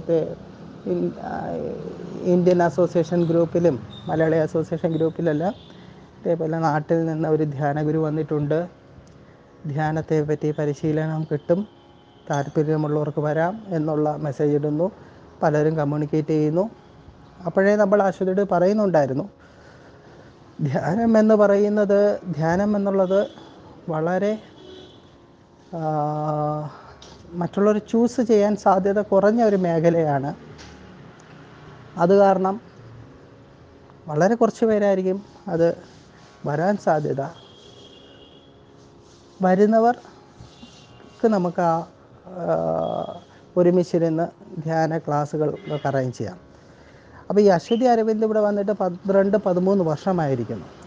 ഇതിന് മുന്നേ പരിചയമുള്ള ഒരു ജൂലിറ്റ് വില്യംസ് എന്ന് പറയുന്ന ഒരു അവിടുത്തെ ഉള്ള സിറ്റിസൺ ആയിട്ടുള്ള ഒരു മതമേ നമുക്കറിയാം. അവരും കമ്മ്യൂണിക്കേറ്റ് ചെയ്യുന്നുണ്ട്. അപ്പോൾ അവർ എന്തായാലും അവരുടെ എല്ലാ ക്ലാസ്സിനും വരുമെന്ന് വ്യക്തമാക്കി പറഞ്ഞിട്ടുമുണ്ട്. അപ്പോൾ എല്ലാ ഞായറാഴ്ചകളും സത്സംഗം മെഡിറ്റേഷൻ ക്ലാസ് അവിടെ വെക്കാം എന്നുള്ളത് തീരുമാനിക്കപ്പെട്ടു. കാര്യം ഇങ്ങനെ പരിചയമുള്ള കുറച്ച് ആൾക്കാർ അവരെല്ലാവരും ഒരുമിച്ച് ഇരിക്കാനുള്ള ഒരു ടൈം അങ്ങനെ. അപ്പോൾ അതിൽ ധ്യാനത്തെ പറ്റിയിട്ടുള്ളൊരു ഇൻട്രൊഡക്ഷൻ കൊടുക്കുക. ധ്യാനത്തിന്റെ ഉള്ളറകളിലോട്ട് പ്രവേശിക്കുക ഈ മൂന്ന് മാസത്തിനുള്ളിൽ. കൂടിപ്പോയാൽ അതൊരു പന്ത്രണ്ട് തൊട്ട് പതിനഞ്ച് ക്ലാസ്സുകൾ വരെ കിട്ടാനാണ് സാധ്യത നമ്മൾ പോകുന്നതിന് മുമ്പ്. അതിനെ ഒരു സിലബസ് പോലെ ധ്യാനത്തിന്റെ അടിസ്ഥാനം പിന്നെ ചില എലമെന്റുകളെ തിരിച്ചറിയുക പ്ലസ് ഹീലിംഗ് കിട്ടൽ ഹീലിംഗ് റിസീവ് ചെയ്യലും ഹീലിംഗ് കൊടുക്കാനും സാധിക്കുക എന്ന് പറയുന്ന ഒരു കാര്യങ്ങളാണ് അതിനകത്ത് മനസ്സിലാക്കി കൊടുക്കുക എന്നുകൊണ്ട് ഉദ്ദേശിക്കുന്നത് അപ്പം ഇത്രയാണ് ചിട്ടപ്പെടുത്തിയിരിക്കുന്ന കാര്യങ്ങൾ.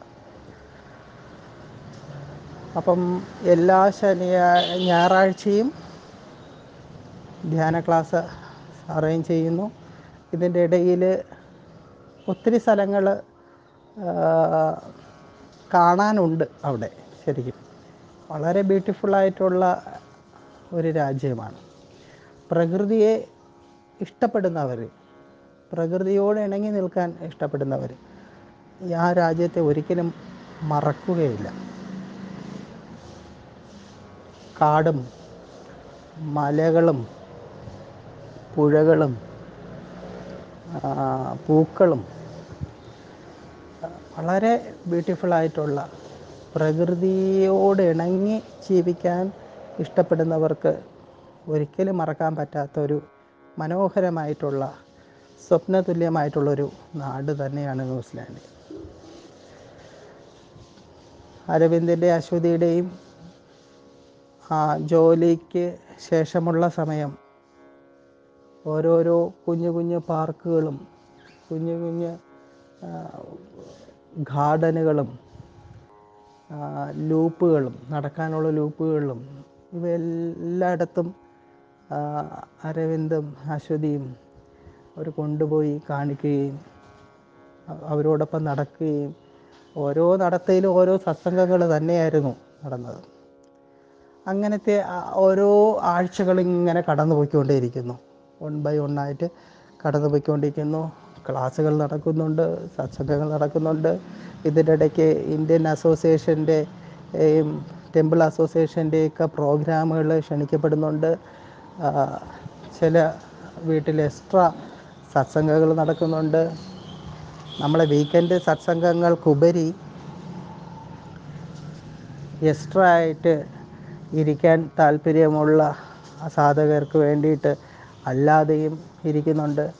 ചുരുക്കി പറഞ്ഞാൽ പന്ത്രണ്ടോ പതിമൂന്നോ സത്സംഗങ്ങൾ അവിടെ നടത്തും അല്ലെങ്കിൽ ധ്യാന ക്യാമ്പ് നടത്തും എന്ന് പറഞ്ഞ് ചിന്തിച്ചിരുന്ന ഇത് ഇരുപത്തഞ്ചോളം ധ്യാന ക്ലാസ്സുകൾ അവിടെ നടക്കുന്നതായിട്ട് വന്നു. എല്ലാ സെക്ഷൻസുകളും വളരെ ബ്യൂട്ടിഫുള്ളായിട്ട് കടന്നുപോയി.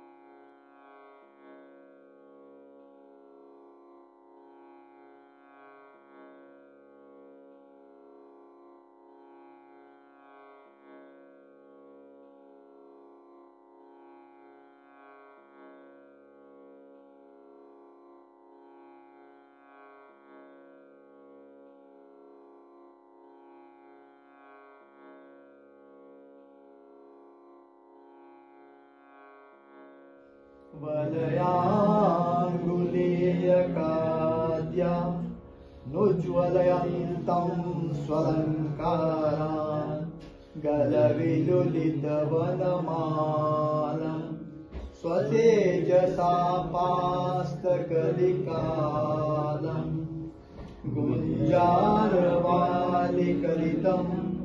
गुञ्जा गुञ्जाविते शिरसि गुञ्जान गोपे गुञ्जान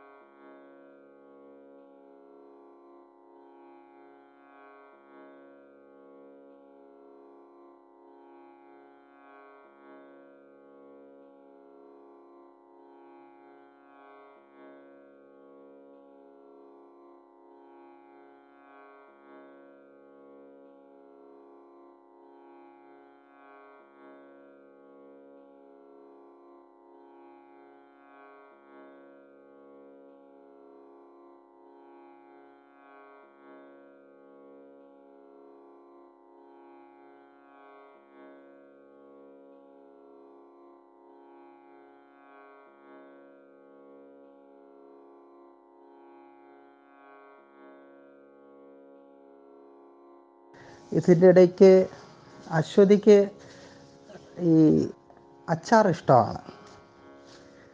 നാട്ടിൽ നിന്ന് അച്ചാർ കൊണ്ടുവരിക എന്ന് പറയുന്നത് അവിടുത്തെ എമിഗ്രേഷനിലൊക്കെ അല്ലെ കസ്റ്റംസിന്റെ അവിടെയൊക്കെ കാണിച്ച് ബോധ്യപ്പെടുത്തി കൊണ്ടുവരിക ഭയങ്കര പാടാണ്. അപ്പോൾ വളരെ കുറച്ചായിരിക്കും കൊണ്ടുവരുന്നത്.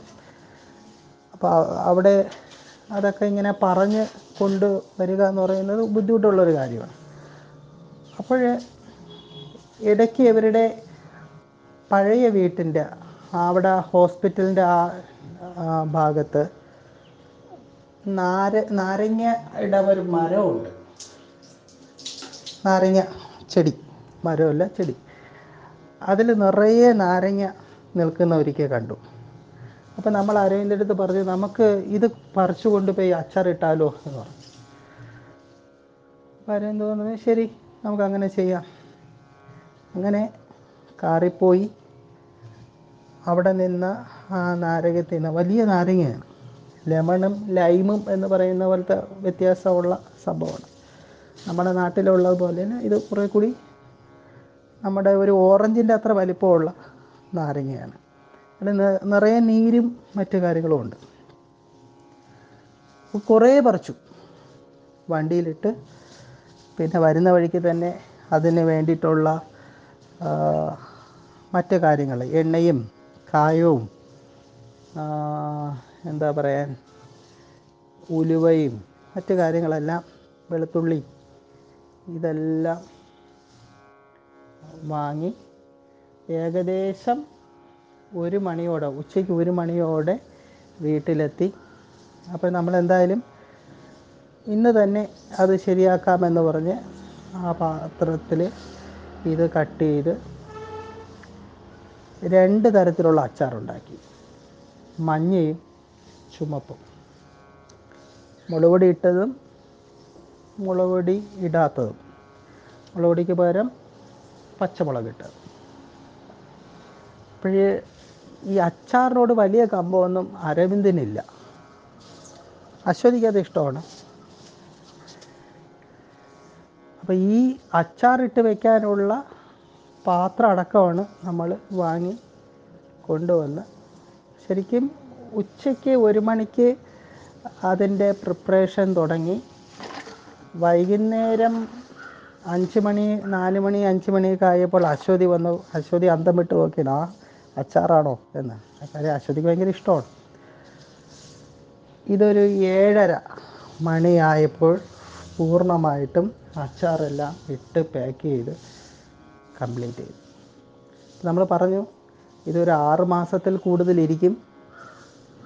അത് ആ- രീതിയിൽ ഈ വെച്ചേക്കുന്ന പാത്രത്തിൽ നിന്ന് ചെറിയൊരു പാത്രത്തിലോട്ട് പകർന്നെടുത്തിട്ട് വേണം അത് ഉപയോഗിക്കാൻ ആറ് മാസത്തോളം. അത് ഒരു- കേട് കേടുകൂടാതെ ഇരുന്നോളും എന്നോ എന്തായാലും മൂന്ന് ദിവസം കഴിഞ്ഞിട്ട് ഉപയോഗിച്ച് തുടങ്ങാമെന്ന് പറഞ്ഞു. മൂന്ന് ദിവസം കഴിഞ്ഞ ശേഷം അത് ഉപയോഗിച്ച് തുടങ്ങി. അച്ചാർ ഇഷ്ടമില്ലാത്ത അരവിന്ദ് അച്ചാറിന്റെ ഫാനായിട്ട് മാറി. പിന്നെ അവിടുത്തെ മെനു മെനുവിൽ മെയിൻ ഘടകം ഈ അച്ചാറായിട്ട് മാറി. അപ്പോൾ അരവിന്ദിന് ഒരു നിർബന്ധമുണ്ടായിരുന്നു കുട്ടികൾ അവിടുത്തെ പിള്ളേരെല്ലാവരും ഇന്ത്യൻ ഫുഡ് അധികം അവോയ്ഡ് ചെയ്ത് ആണ് സാധാരണ കണ്ടുവരുന്നത്. അപ്പോൾ ഈ കുട്ടികൾ ചോറ് കഴിച്ചിരിക്കണം ഒരു നേരമെങ്കിലും ചോറ് കഴിച്ചിരിക്കണം എന്നുള്ളത് അരവിന്ദന്റെ ഒരു ഇഷ്ടയാണ് അപ്പോൾ നാട്ടിലുള്ള നമ്മുടെ സാധാ റൈസ് അത് മേക്ക് ചെയ്തെടുക്കാൻ പാടാണ്. അത് കുക്ക് ചെയ്ത് വരുമ്പോൾ ഉണ്ടാവുന്ന മെസ്സാവുന്ന ഒരവസ്ഥ. അത് ഇവരുടെ ടൈമിംഗ് അനുസരിച്ചിട്ടൊന്നും അത് കുറച്ച് കൂടുതൽ സമയം വേണമല്ലോ വേഗം.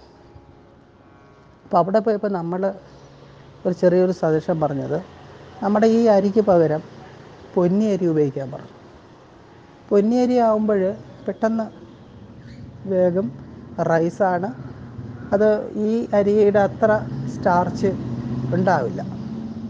അങ്ങനെ പൊന്നിയരി ആക്കുന്നു. പൊന്നിയരിയൊക്കെ ആകുമ്പോൾ ഒരു ഏഴ് മിനിറ്റോ എട്ട് മിനിറ്റോ കൊണ്ടോ റൈസ് റെഡിയാവും. അങ്ങനെ ആ റൈസ് ആവുന്നു. എന്തായാലും ഒരു ഭക്ഷണത്തിന് ഒരു ചിട്ട. ഒരു ടൈമിങ് മറ്റു കാര്യങ്ങളായിട്ട് ന്യൂസിലാൻഡ് ജീവിതം മുന്നോട്ട് പോവുകയാണ്. ഒത്തിരി ഒത്തിരി ആൾക്കാരെ പരിചയപ്പെടുന്നു. അതിന്റെ ഇടയിൽ തന്നെ നമ്മൾ വന്നതിന്റെ അടുത്ത ദിവസം നമ്മുടെ നാട്ടിലെ രാജീവിന്റെ ഫ്രണ്ട് അദ്ദേഹം ഇപ്പോൾ കുടുംബമായിട്ട് ന്യൂസിലാൻഡിലുണ്ട്. അദ്ദേഹം അവിടെ വരുന്നു രണ്ട് ദിവസം കൂടെ നിൽക്കുന്നു. അങ്ങനെ ഒത്തിരി ആൾക്കാർ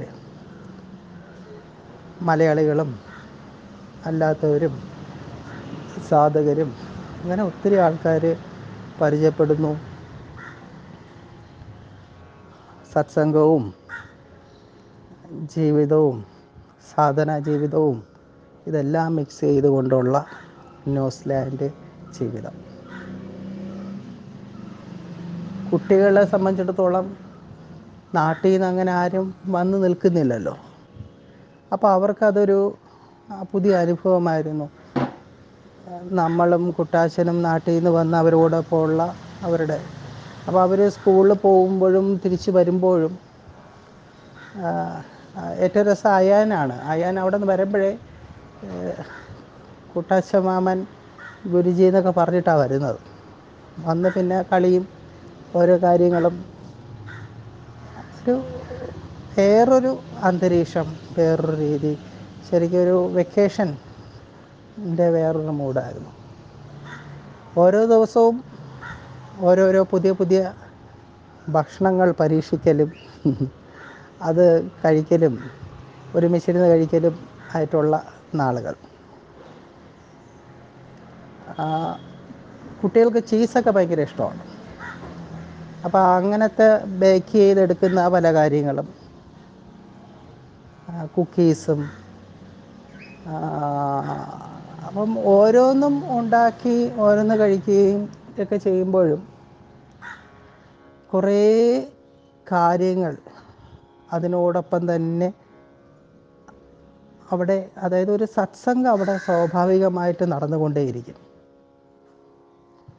ഇതിനിടയിൽ നാട്ടിൽ മന്ത്ലി സത്സംഗങ്ങൾ നടക്കപ്പെടുന്നു. ബാലവും മിഥിലേഷും എല്ലാം കോർഡിനേറ്റ് ചെയ്ത് അത് നടക്കുന്നു. വീക്കിലി സത്സംഗങ്ങൾ നമ്മുടെ വീക്കിലി ഓരോ ടോപ്പിക് കൊടുക്കുന്ന അത് നടക്കുന്നത് ബാക്കി കാര്യങ്ങളെല്ലാം ഇതിനോടൊപ്പം തന്നെ നടന്നു കൊണ്ടുപോവുകയും ചെയ്യുന്നുണ്ട്. ഇപ്പോൾ വീക്കിലി സത്സംഗങ്ങളിൽ അശ്വതിയും അരവിന്ദും അവരുടേതായിട്ടുള്ള കോൺട്രിബ്യൂഷൻ അവർ ആ ടോപ്പിക്കിനെ പറ്റി അവർ സംസാരിച്ചിരുന്നു അത് അത് നടക്കുന്നുണ്ട്.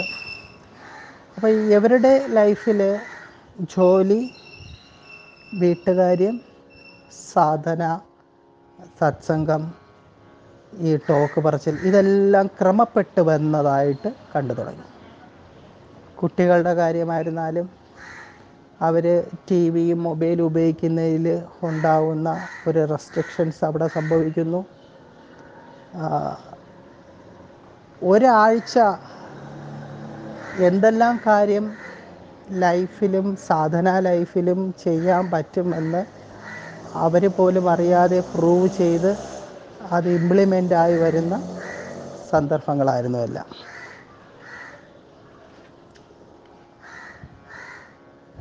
വീക്കെൻഡ് ടോക്ക് പറയുന്നു.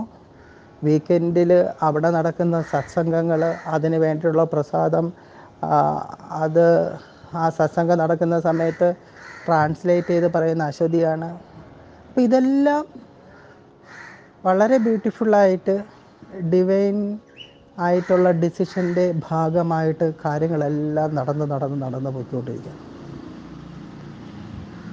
ഒന്നും ഒരു എഫേർട്ട് ഇല്ലാതെ പ്രത്യേകിച്ചൊരു എഫേർട്ട് ഒന്നിനും ആരും എടുക്കുന്നില്ല. പക്ഷേ വളരെ ബ്യൂട്ടിഫുള്ളായിട്ട് അത് നടക്കുകയും ചെയ്യുന്നുണ്ട്. അതായത് അവിടെ എഫേർട്ട് ഇല്ല എന്നുള്ളതല്ല. എന്നാൽ എഫേർട്ട്ലെസ് ആയിട്ടുള്ള റിസൾട്ടാണ് അവിടെ എല്ലാ കാര്യത്തിലും നടന്നത്. അതാണ് വേണ്ടത്. ഒരു ഫ്ലോ ഡിവിനിറ്റി നമ്മളിൽ ഫ്ലോ ചെയ്യാൻ അനു അനുവദിച്ചാൽ മാത്രം മതി. നമ്മളുടേതായിട്ടുള്ള എഫേർട്ട് ഇല്ലാതെ തന്നെ നമ്മളൊരു എഫർട്ട് ഉണ്ടാവുകയും ചെയ്യും. പക്ഷെ അത് എഫർട്ട്ലെസ് ആയിട്ടുള്ള അനുഭവമായിരിക്കും ഉണ്ടാവുക. അപ്പോൾ ആ ഡിവൈൻ ഫ്ലോ എന്താണ് ലൈഫിൽ എന്ന് മനസ്സിലാക്കുന്ന നിമിഷങ്ങൾ. കിട്ടുന്ന സമയങ്ങളെല്ലാം എല്ലാവരുമായിട്ട് പുറത്തോട്ട് പോകും. മനോഹരമായിട്ടുള്ള ലൂപ്പുകൾ കൂടി നടക്കും. ആ പ്രകൃതി എല്ലാം ആസ്വദിക്കും. മനോഹരമായ ദൃശ്യങ്ങൾ പലതും നമുക്ക് എടുക്കുവാൻ സാധിച്ചിട്ടുണ്ട്. മൊബൈലിൽ എടുക്കാൻ സാധിച്ചിട്ടുണ്ട്. ഇതിനിടയ്ക്ക് അശ്വതിയുടെ ബർത്ത്ഡേ കടന്നുപോയി. അവരുടെ വെഡ്ഡിങ് ആനിവേഴ്സറി കടന്നുപോയി. അങ്ങനെ ഓരോരോ ലൈഫിന്റെ പ്രധാനപ്പെട്ട മൊമെന്റ്സുകൾ എല്ലാം കടന്നുപോയി.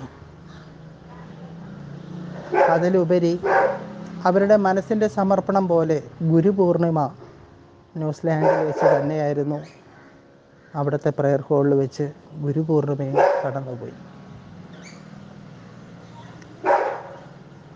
ഇതെല്ലാം കടന്നു പോകുന്ന സമയത്ത് നമ്മളുടെ മടക്കയാത്രയുടെ സമയവും അടുത്തടുത്തടുത്ത് വരുന്നുണ്ടായിരുന്നു.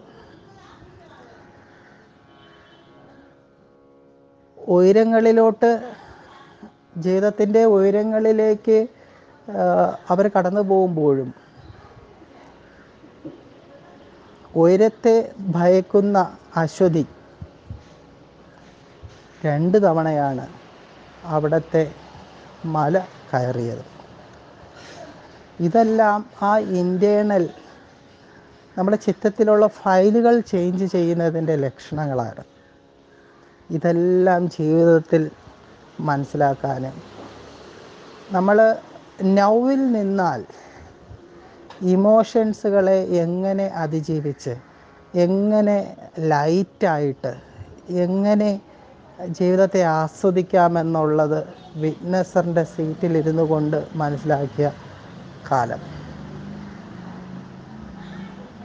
എല്ലാവരും പെർഫെക്റ്റ് അല്ല പക്ഷേ പെർഫെക്ഷൻ എന്നിൽ സംഭവിക്കുകയില്ല എന്നുമില്ലല്ലോ നമ്മളെല്ലാം നമ്മളിൽ നടക്കുന്ന അല്ലെങ്കിൽ നമ്മളിൽ എന്താണ് സംഭവിക്കുന്നത് എന്ന് വിറ്റ്നസ് ചെയ്തുകൊണ്ട് സ്വയം തിരുത്തി വരുന്നതാണല്ലോ സാധനാ ജീവിതം. ജീവിതത്തിന്റെ യാന്ത്രികത നമ്മളിൽ ഉണ്ടാക്കുന്ന മാറ്റങ്ങളെ തിരിച്ചറിഞ്ഞ് യാന്ത്രികത മാറ്റി സ്വാഭാവികതയിലേക്ക് കടന്നു വരുന്ന ഒരവസ്ഥ. അതായിരുന്നു അശ്വതിയും അരവിന്ദും കുട്ടാച്ചനും തന്റെ സാധനാ ഗുരുവിനോടൊപ്പം ജീവിച്ച ദിവസങ്ങളിൽ ചെയ്തു വന്നിരുന്നത്. ഡിവിനിറ്റി നമ്മളിൽ ഉണ്ടാക്കുന്ന മാറ്റം. ഡിവിനിറ്റിയുടെ സാന്നിധ്യത്തിന്റെ പ്രസക്തി ഇവയെല്ലാം തിരിച്ചറിഞ്ഞു കൊണ്ടുപോകുന്ന ദിവസങ്ങൾ. ഓരോരോ സത്സംഗങ്ങളും ഓരോരോ സാധന ക്യാമ്പുകളും മനോഹരമായി കടന്നു പോകുന്നു അവിടെയുള്ള മലയാളി സത്സംഗത്തിന് അവർക്ക് വേണ്ടിയിട്ട് ഒരു ലളിതാ സഹസ്രമാർച്ചന ഒരുമിച്ചിരുന്ന് ചെയ്യുകയുണ്ടായി. എല്ലാം വളരെ വളരെ ബ്യൂട്ടിഫുള്ളായിട്ട് അവസാനിക്കുന്ന ഒരവസ്ഥ. ഇതിനിടയ്ക്ക് കുട്ടാച്ചന്റെ ജോലി ഇന്റർവ്യൂ മെഡിക്കൽ ടെസ്റ്റ് ഇതെല്ലാം നടന്ന് നടന്ന് നടന്ന് നടന്ന് അതും ഒരു സൈഡിൽ കൂടി നടക്കുന്നു. രണ്ട് ദിവസം ഒരു ദൂരെ യാത്ര പോയി. ഒന്ന് മാറി വേറൊരു സ്ഥലത്ത് നിൽക്കാമെന്നുള്ള രീതിയിൽ പ്ലാൻ ചെയ്യുന്നു. അതനുസരിച്ചിട്ട് ട്രാവൽ ചെയ്യുന്നു.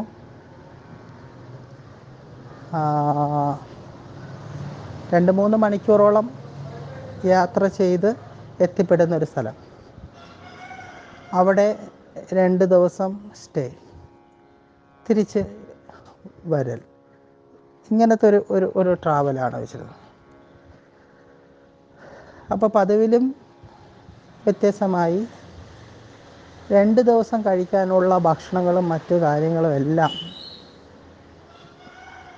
നേരത്തെ കുക്ക് ചെയ്ത് അറേഞ്ച് ചെയ്ത് ഉള്ള ട്രിപ്പായതിനാൽ അത് മറക്കാനാകാത്ത ഒരു യാത്രാനുഭവമായിട്ട് എല്ലാവർക്കും മാറി.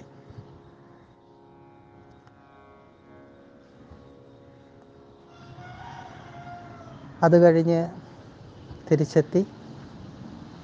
ഇനി മൂന്നാഴ്ചയും കൂടി ഏകദേശം കഷ്ടിച്ചുള്ളൂ അവിടെ. അതിന്റെ ഇടയ്ക്ക് അവിടെ റേക്കിയുടെ healing camp main healing camp കഴിഞ്ഞു.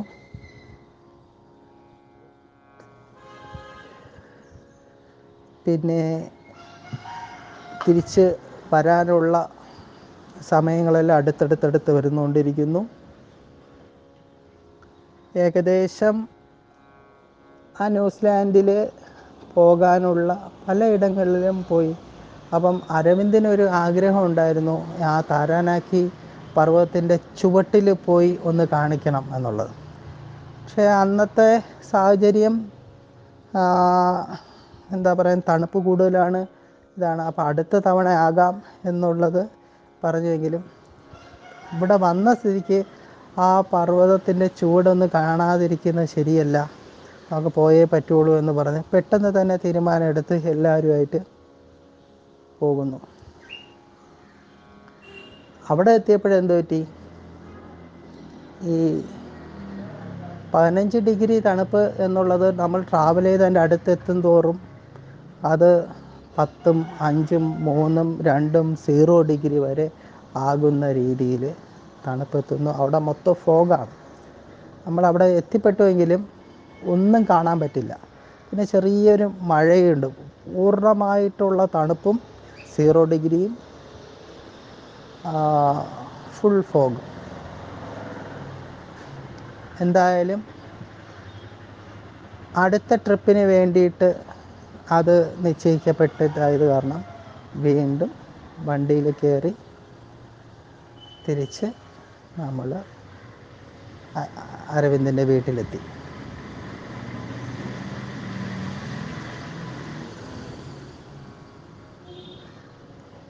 വിട പറയൽ എന്തായാലും എല്ലാ എപ്പോഴും അതൊരു ഒരു സത്യമായ ഒരു ഇതാണല്ലോ. കുട്ടിക്കാലം നമ്മളിൽ നിന്ന് വിട പറഞ്ഞു അല്ലേ? യൗവനകാലം വിട പറയും വാർദ്ധക്യകാലം വിട പറയും എല്ലാം അത് ഒരു യാഥാർത്ഥ്യമാണ്. അപ്പം ന്യൂസിലാൻഡിന്റെ ജീവിതം അല്ലെങ്കിൽ അവിടുത്തെ ഇത് കഴിഞ്ഞ് തിരിച്ച് വരാനുള്ള സമയവും കാലങ്ങളെല്ലാം ഉണ്ടാകുന്നു അശ്വതി അരവിന്ദും പ്ലാൻ ചെയ്യുന്നു. എങ്ങനെയാണ് ഇവിടുന്ന് തിരിച്ച് നമ്മളെ യാത്ര അയക്ക് അയച്ചു വിടേണ്ടതെന്നുള്ളതെല്ലാം പ്ലാൻ ചെയ്യുന്നു. തലേ ദിവസം തന്നെ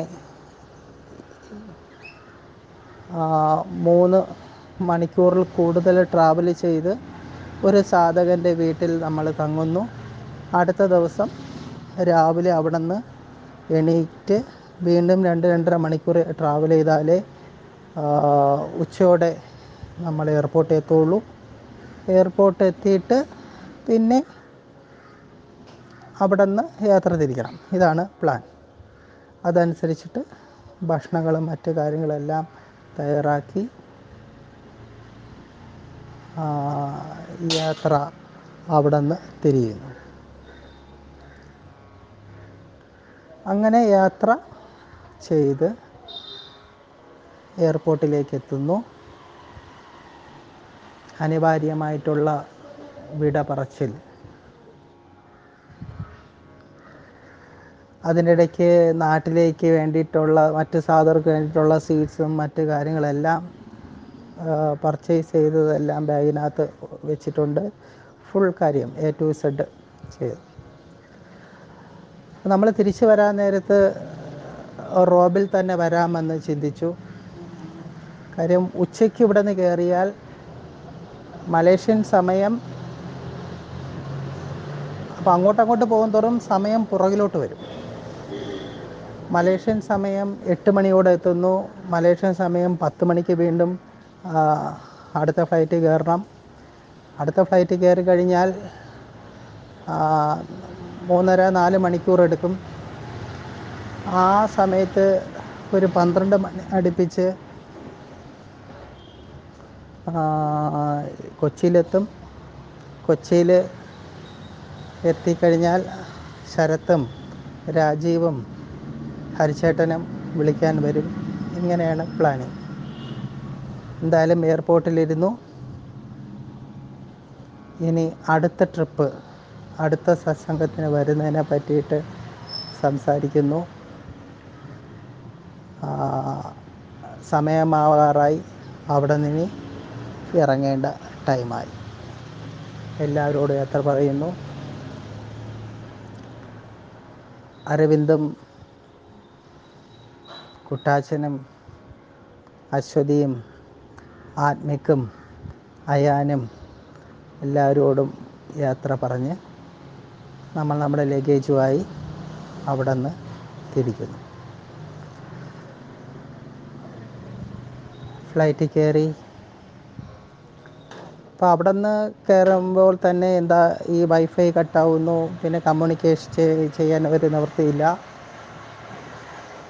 മനസ്സുകൊണ്ട് കമ്മ്യൂണിക്കേഷൻ അങ്ങോട്ടും ഇങ്ങോട്ടും എല്ലാവരും ചെയ്യുന്നു. പിന്നെ മലേഷ്യയിൽ ചെന്ന് ഇറങ്ങുന്ന സമയത്താണ് അവിടുത്തെ വൈഫൈയിൽ എത്തിയെന്നും നാട്ടിലും മലേഷ്യയിലും പിന്നെ വിശലാമ്മയുടെ അടുത്തും അടുത്തെല്ലാം പറയുന്നു. ഒരു അരമണിക്കൂറിനകത്ത് കമ്മ്യൂണിക്കേഷൻ ചെയ്തതിന് ശേഷം വീണ്ടും അവിടെ നിന്ന് അടുത്ത ട്രാവൽ ചെയ്തു കൊച്ചിയിലെത്തുന്നു. കൊച്ചിയിലെത്തി. രാത്രിയാണ്. ഇവരെല്ലാവരും അവിടെ ഉണ്ട്. ഒരാറ് ഏഴെട്ട് മാസം ജോലി സംബന്ധമായി ലോകം മൊത്തം കറങ്ങി വന്ന രാജീവ് അവിടെ ഉണ്ട്. രാജീവിനെയും കാണുന്നു. അരവിന്ദ് എല്ലാവരെയും കാണുന്നു. തിരിച്ച് ശരത്ത്. ശരത്തിന്റെ അഡ്വക്കേറ്റ് ശരത്തിന്റെ എറണാകുളത്തുള്ള വീട്ടിലേക്ക് രാത്രിയോടെ എത്തുന്നു. അവിടെ ഭക്ഷണമെല്ലാം തയ്യാറാക്കി വെച്ചിട്ടുണ്ട്. ഭക്ഷണം കഴിക്കുന്നു ഉറങ്ങുന്നു. അടുത്ത ദിവസം അവിടെ നിന്ന് രാവിലെ എണീറ്റിട്ട് വേണം. അപ്പോൾ ഈ ഒരു ഇരുപത്തിനാല് മണിക്കൂറിന്റെ ഉറക്കം ഒഴിച്ച് വരുന്ന ഒരവസ്ഥ ടൈം സോൺ മൊത്തം മാറിയ ഒരവസ്ഥ ട്രാവൽ ചെയ്യേണ്ട അവസ്ഥ. ഇതൊക്കെയാണെങ്കിലും പിറ്റേ ദിവസം തന്നെ എണീറ്റ് ഉച്ചയോടെ അവിടെ നിന്ന് ട്രാവൽ ചെയ്ത് നേരെ ബാലരാമപുരത്ത് എത്തണം. കാര്യം ഇവിടെ അടുത്ത ദിവസം സത്സംഗമാണ്. വിശ്രമം എന്ന് പറയുന്നത് ഗുരുക്കന്മാർക്ക് ആർക്കും പറഞ്ഞിട്ടുള്ള കാര്യമല്ല.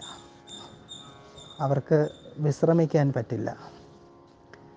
കാരണം തന്നിൽ അർപ്പിച്ചിരിക്കുന്ന കടമ എത്രത്തോളം ഉണ്ടെന്നുള്ള ബോധ്യമുള്ള ഒരു ഗുരുവിന് വിശ്രമിക്കാനാകില്ല. ശ്രമം തുടർന്നുകൊണ്ടേയിരിക്കും.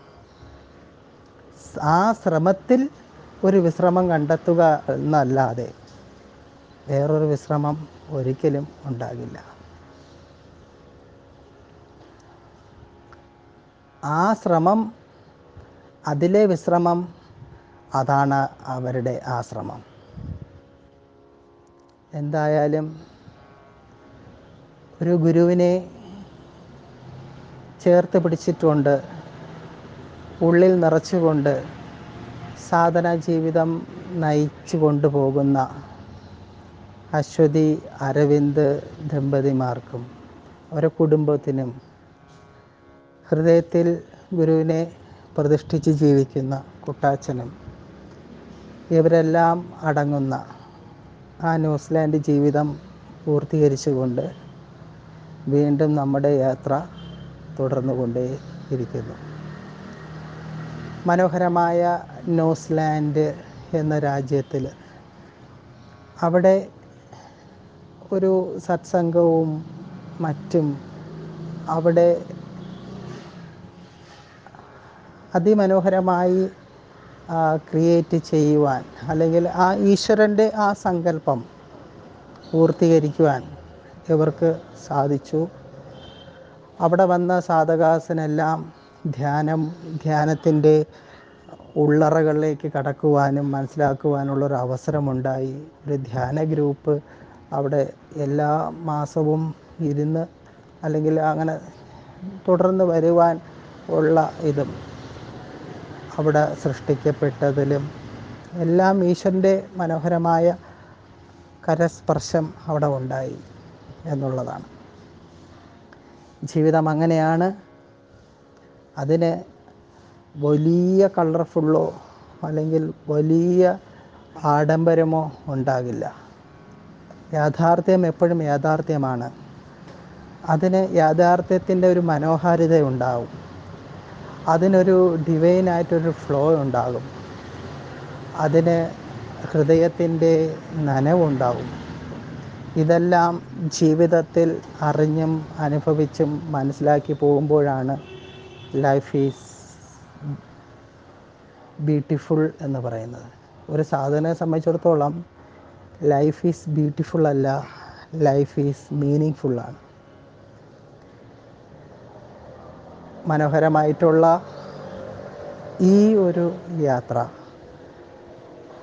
ഒരു ഗുരുവിന്റെ ജീവിതയാത്രയിൽ ഒരു ഏട് അവിടെയും അല്ലെങ്കിൽ ആ ജീവിതയാത്രയിലെ ചില ഭാഗം ചില ചാപ്റ്റർ ന്യൂസിലാൻഡിലും നടന്നു എന്നുള്ളത് ഈ സാധന അല്ലെങ്കിൽ ഈ സാധകരുടെ സമർപ്പണത്തിന്റെ ഭാഗമായിട്ട് സംഭവിച്ചതാണ്. എല്ലാം ആ ഡിവിനിറ്റിയിൽ സമർപ്പിച്ചുകൊണ്ട് നിർത്തുന്നു. ഹരി ഓം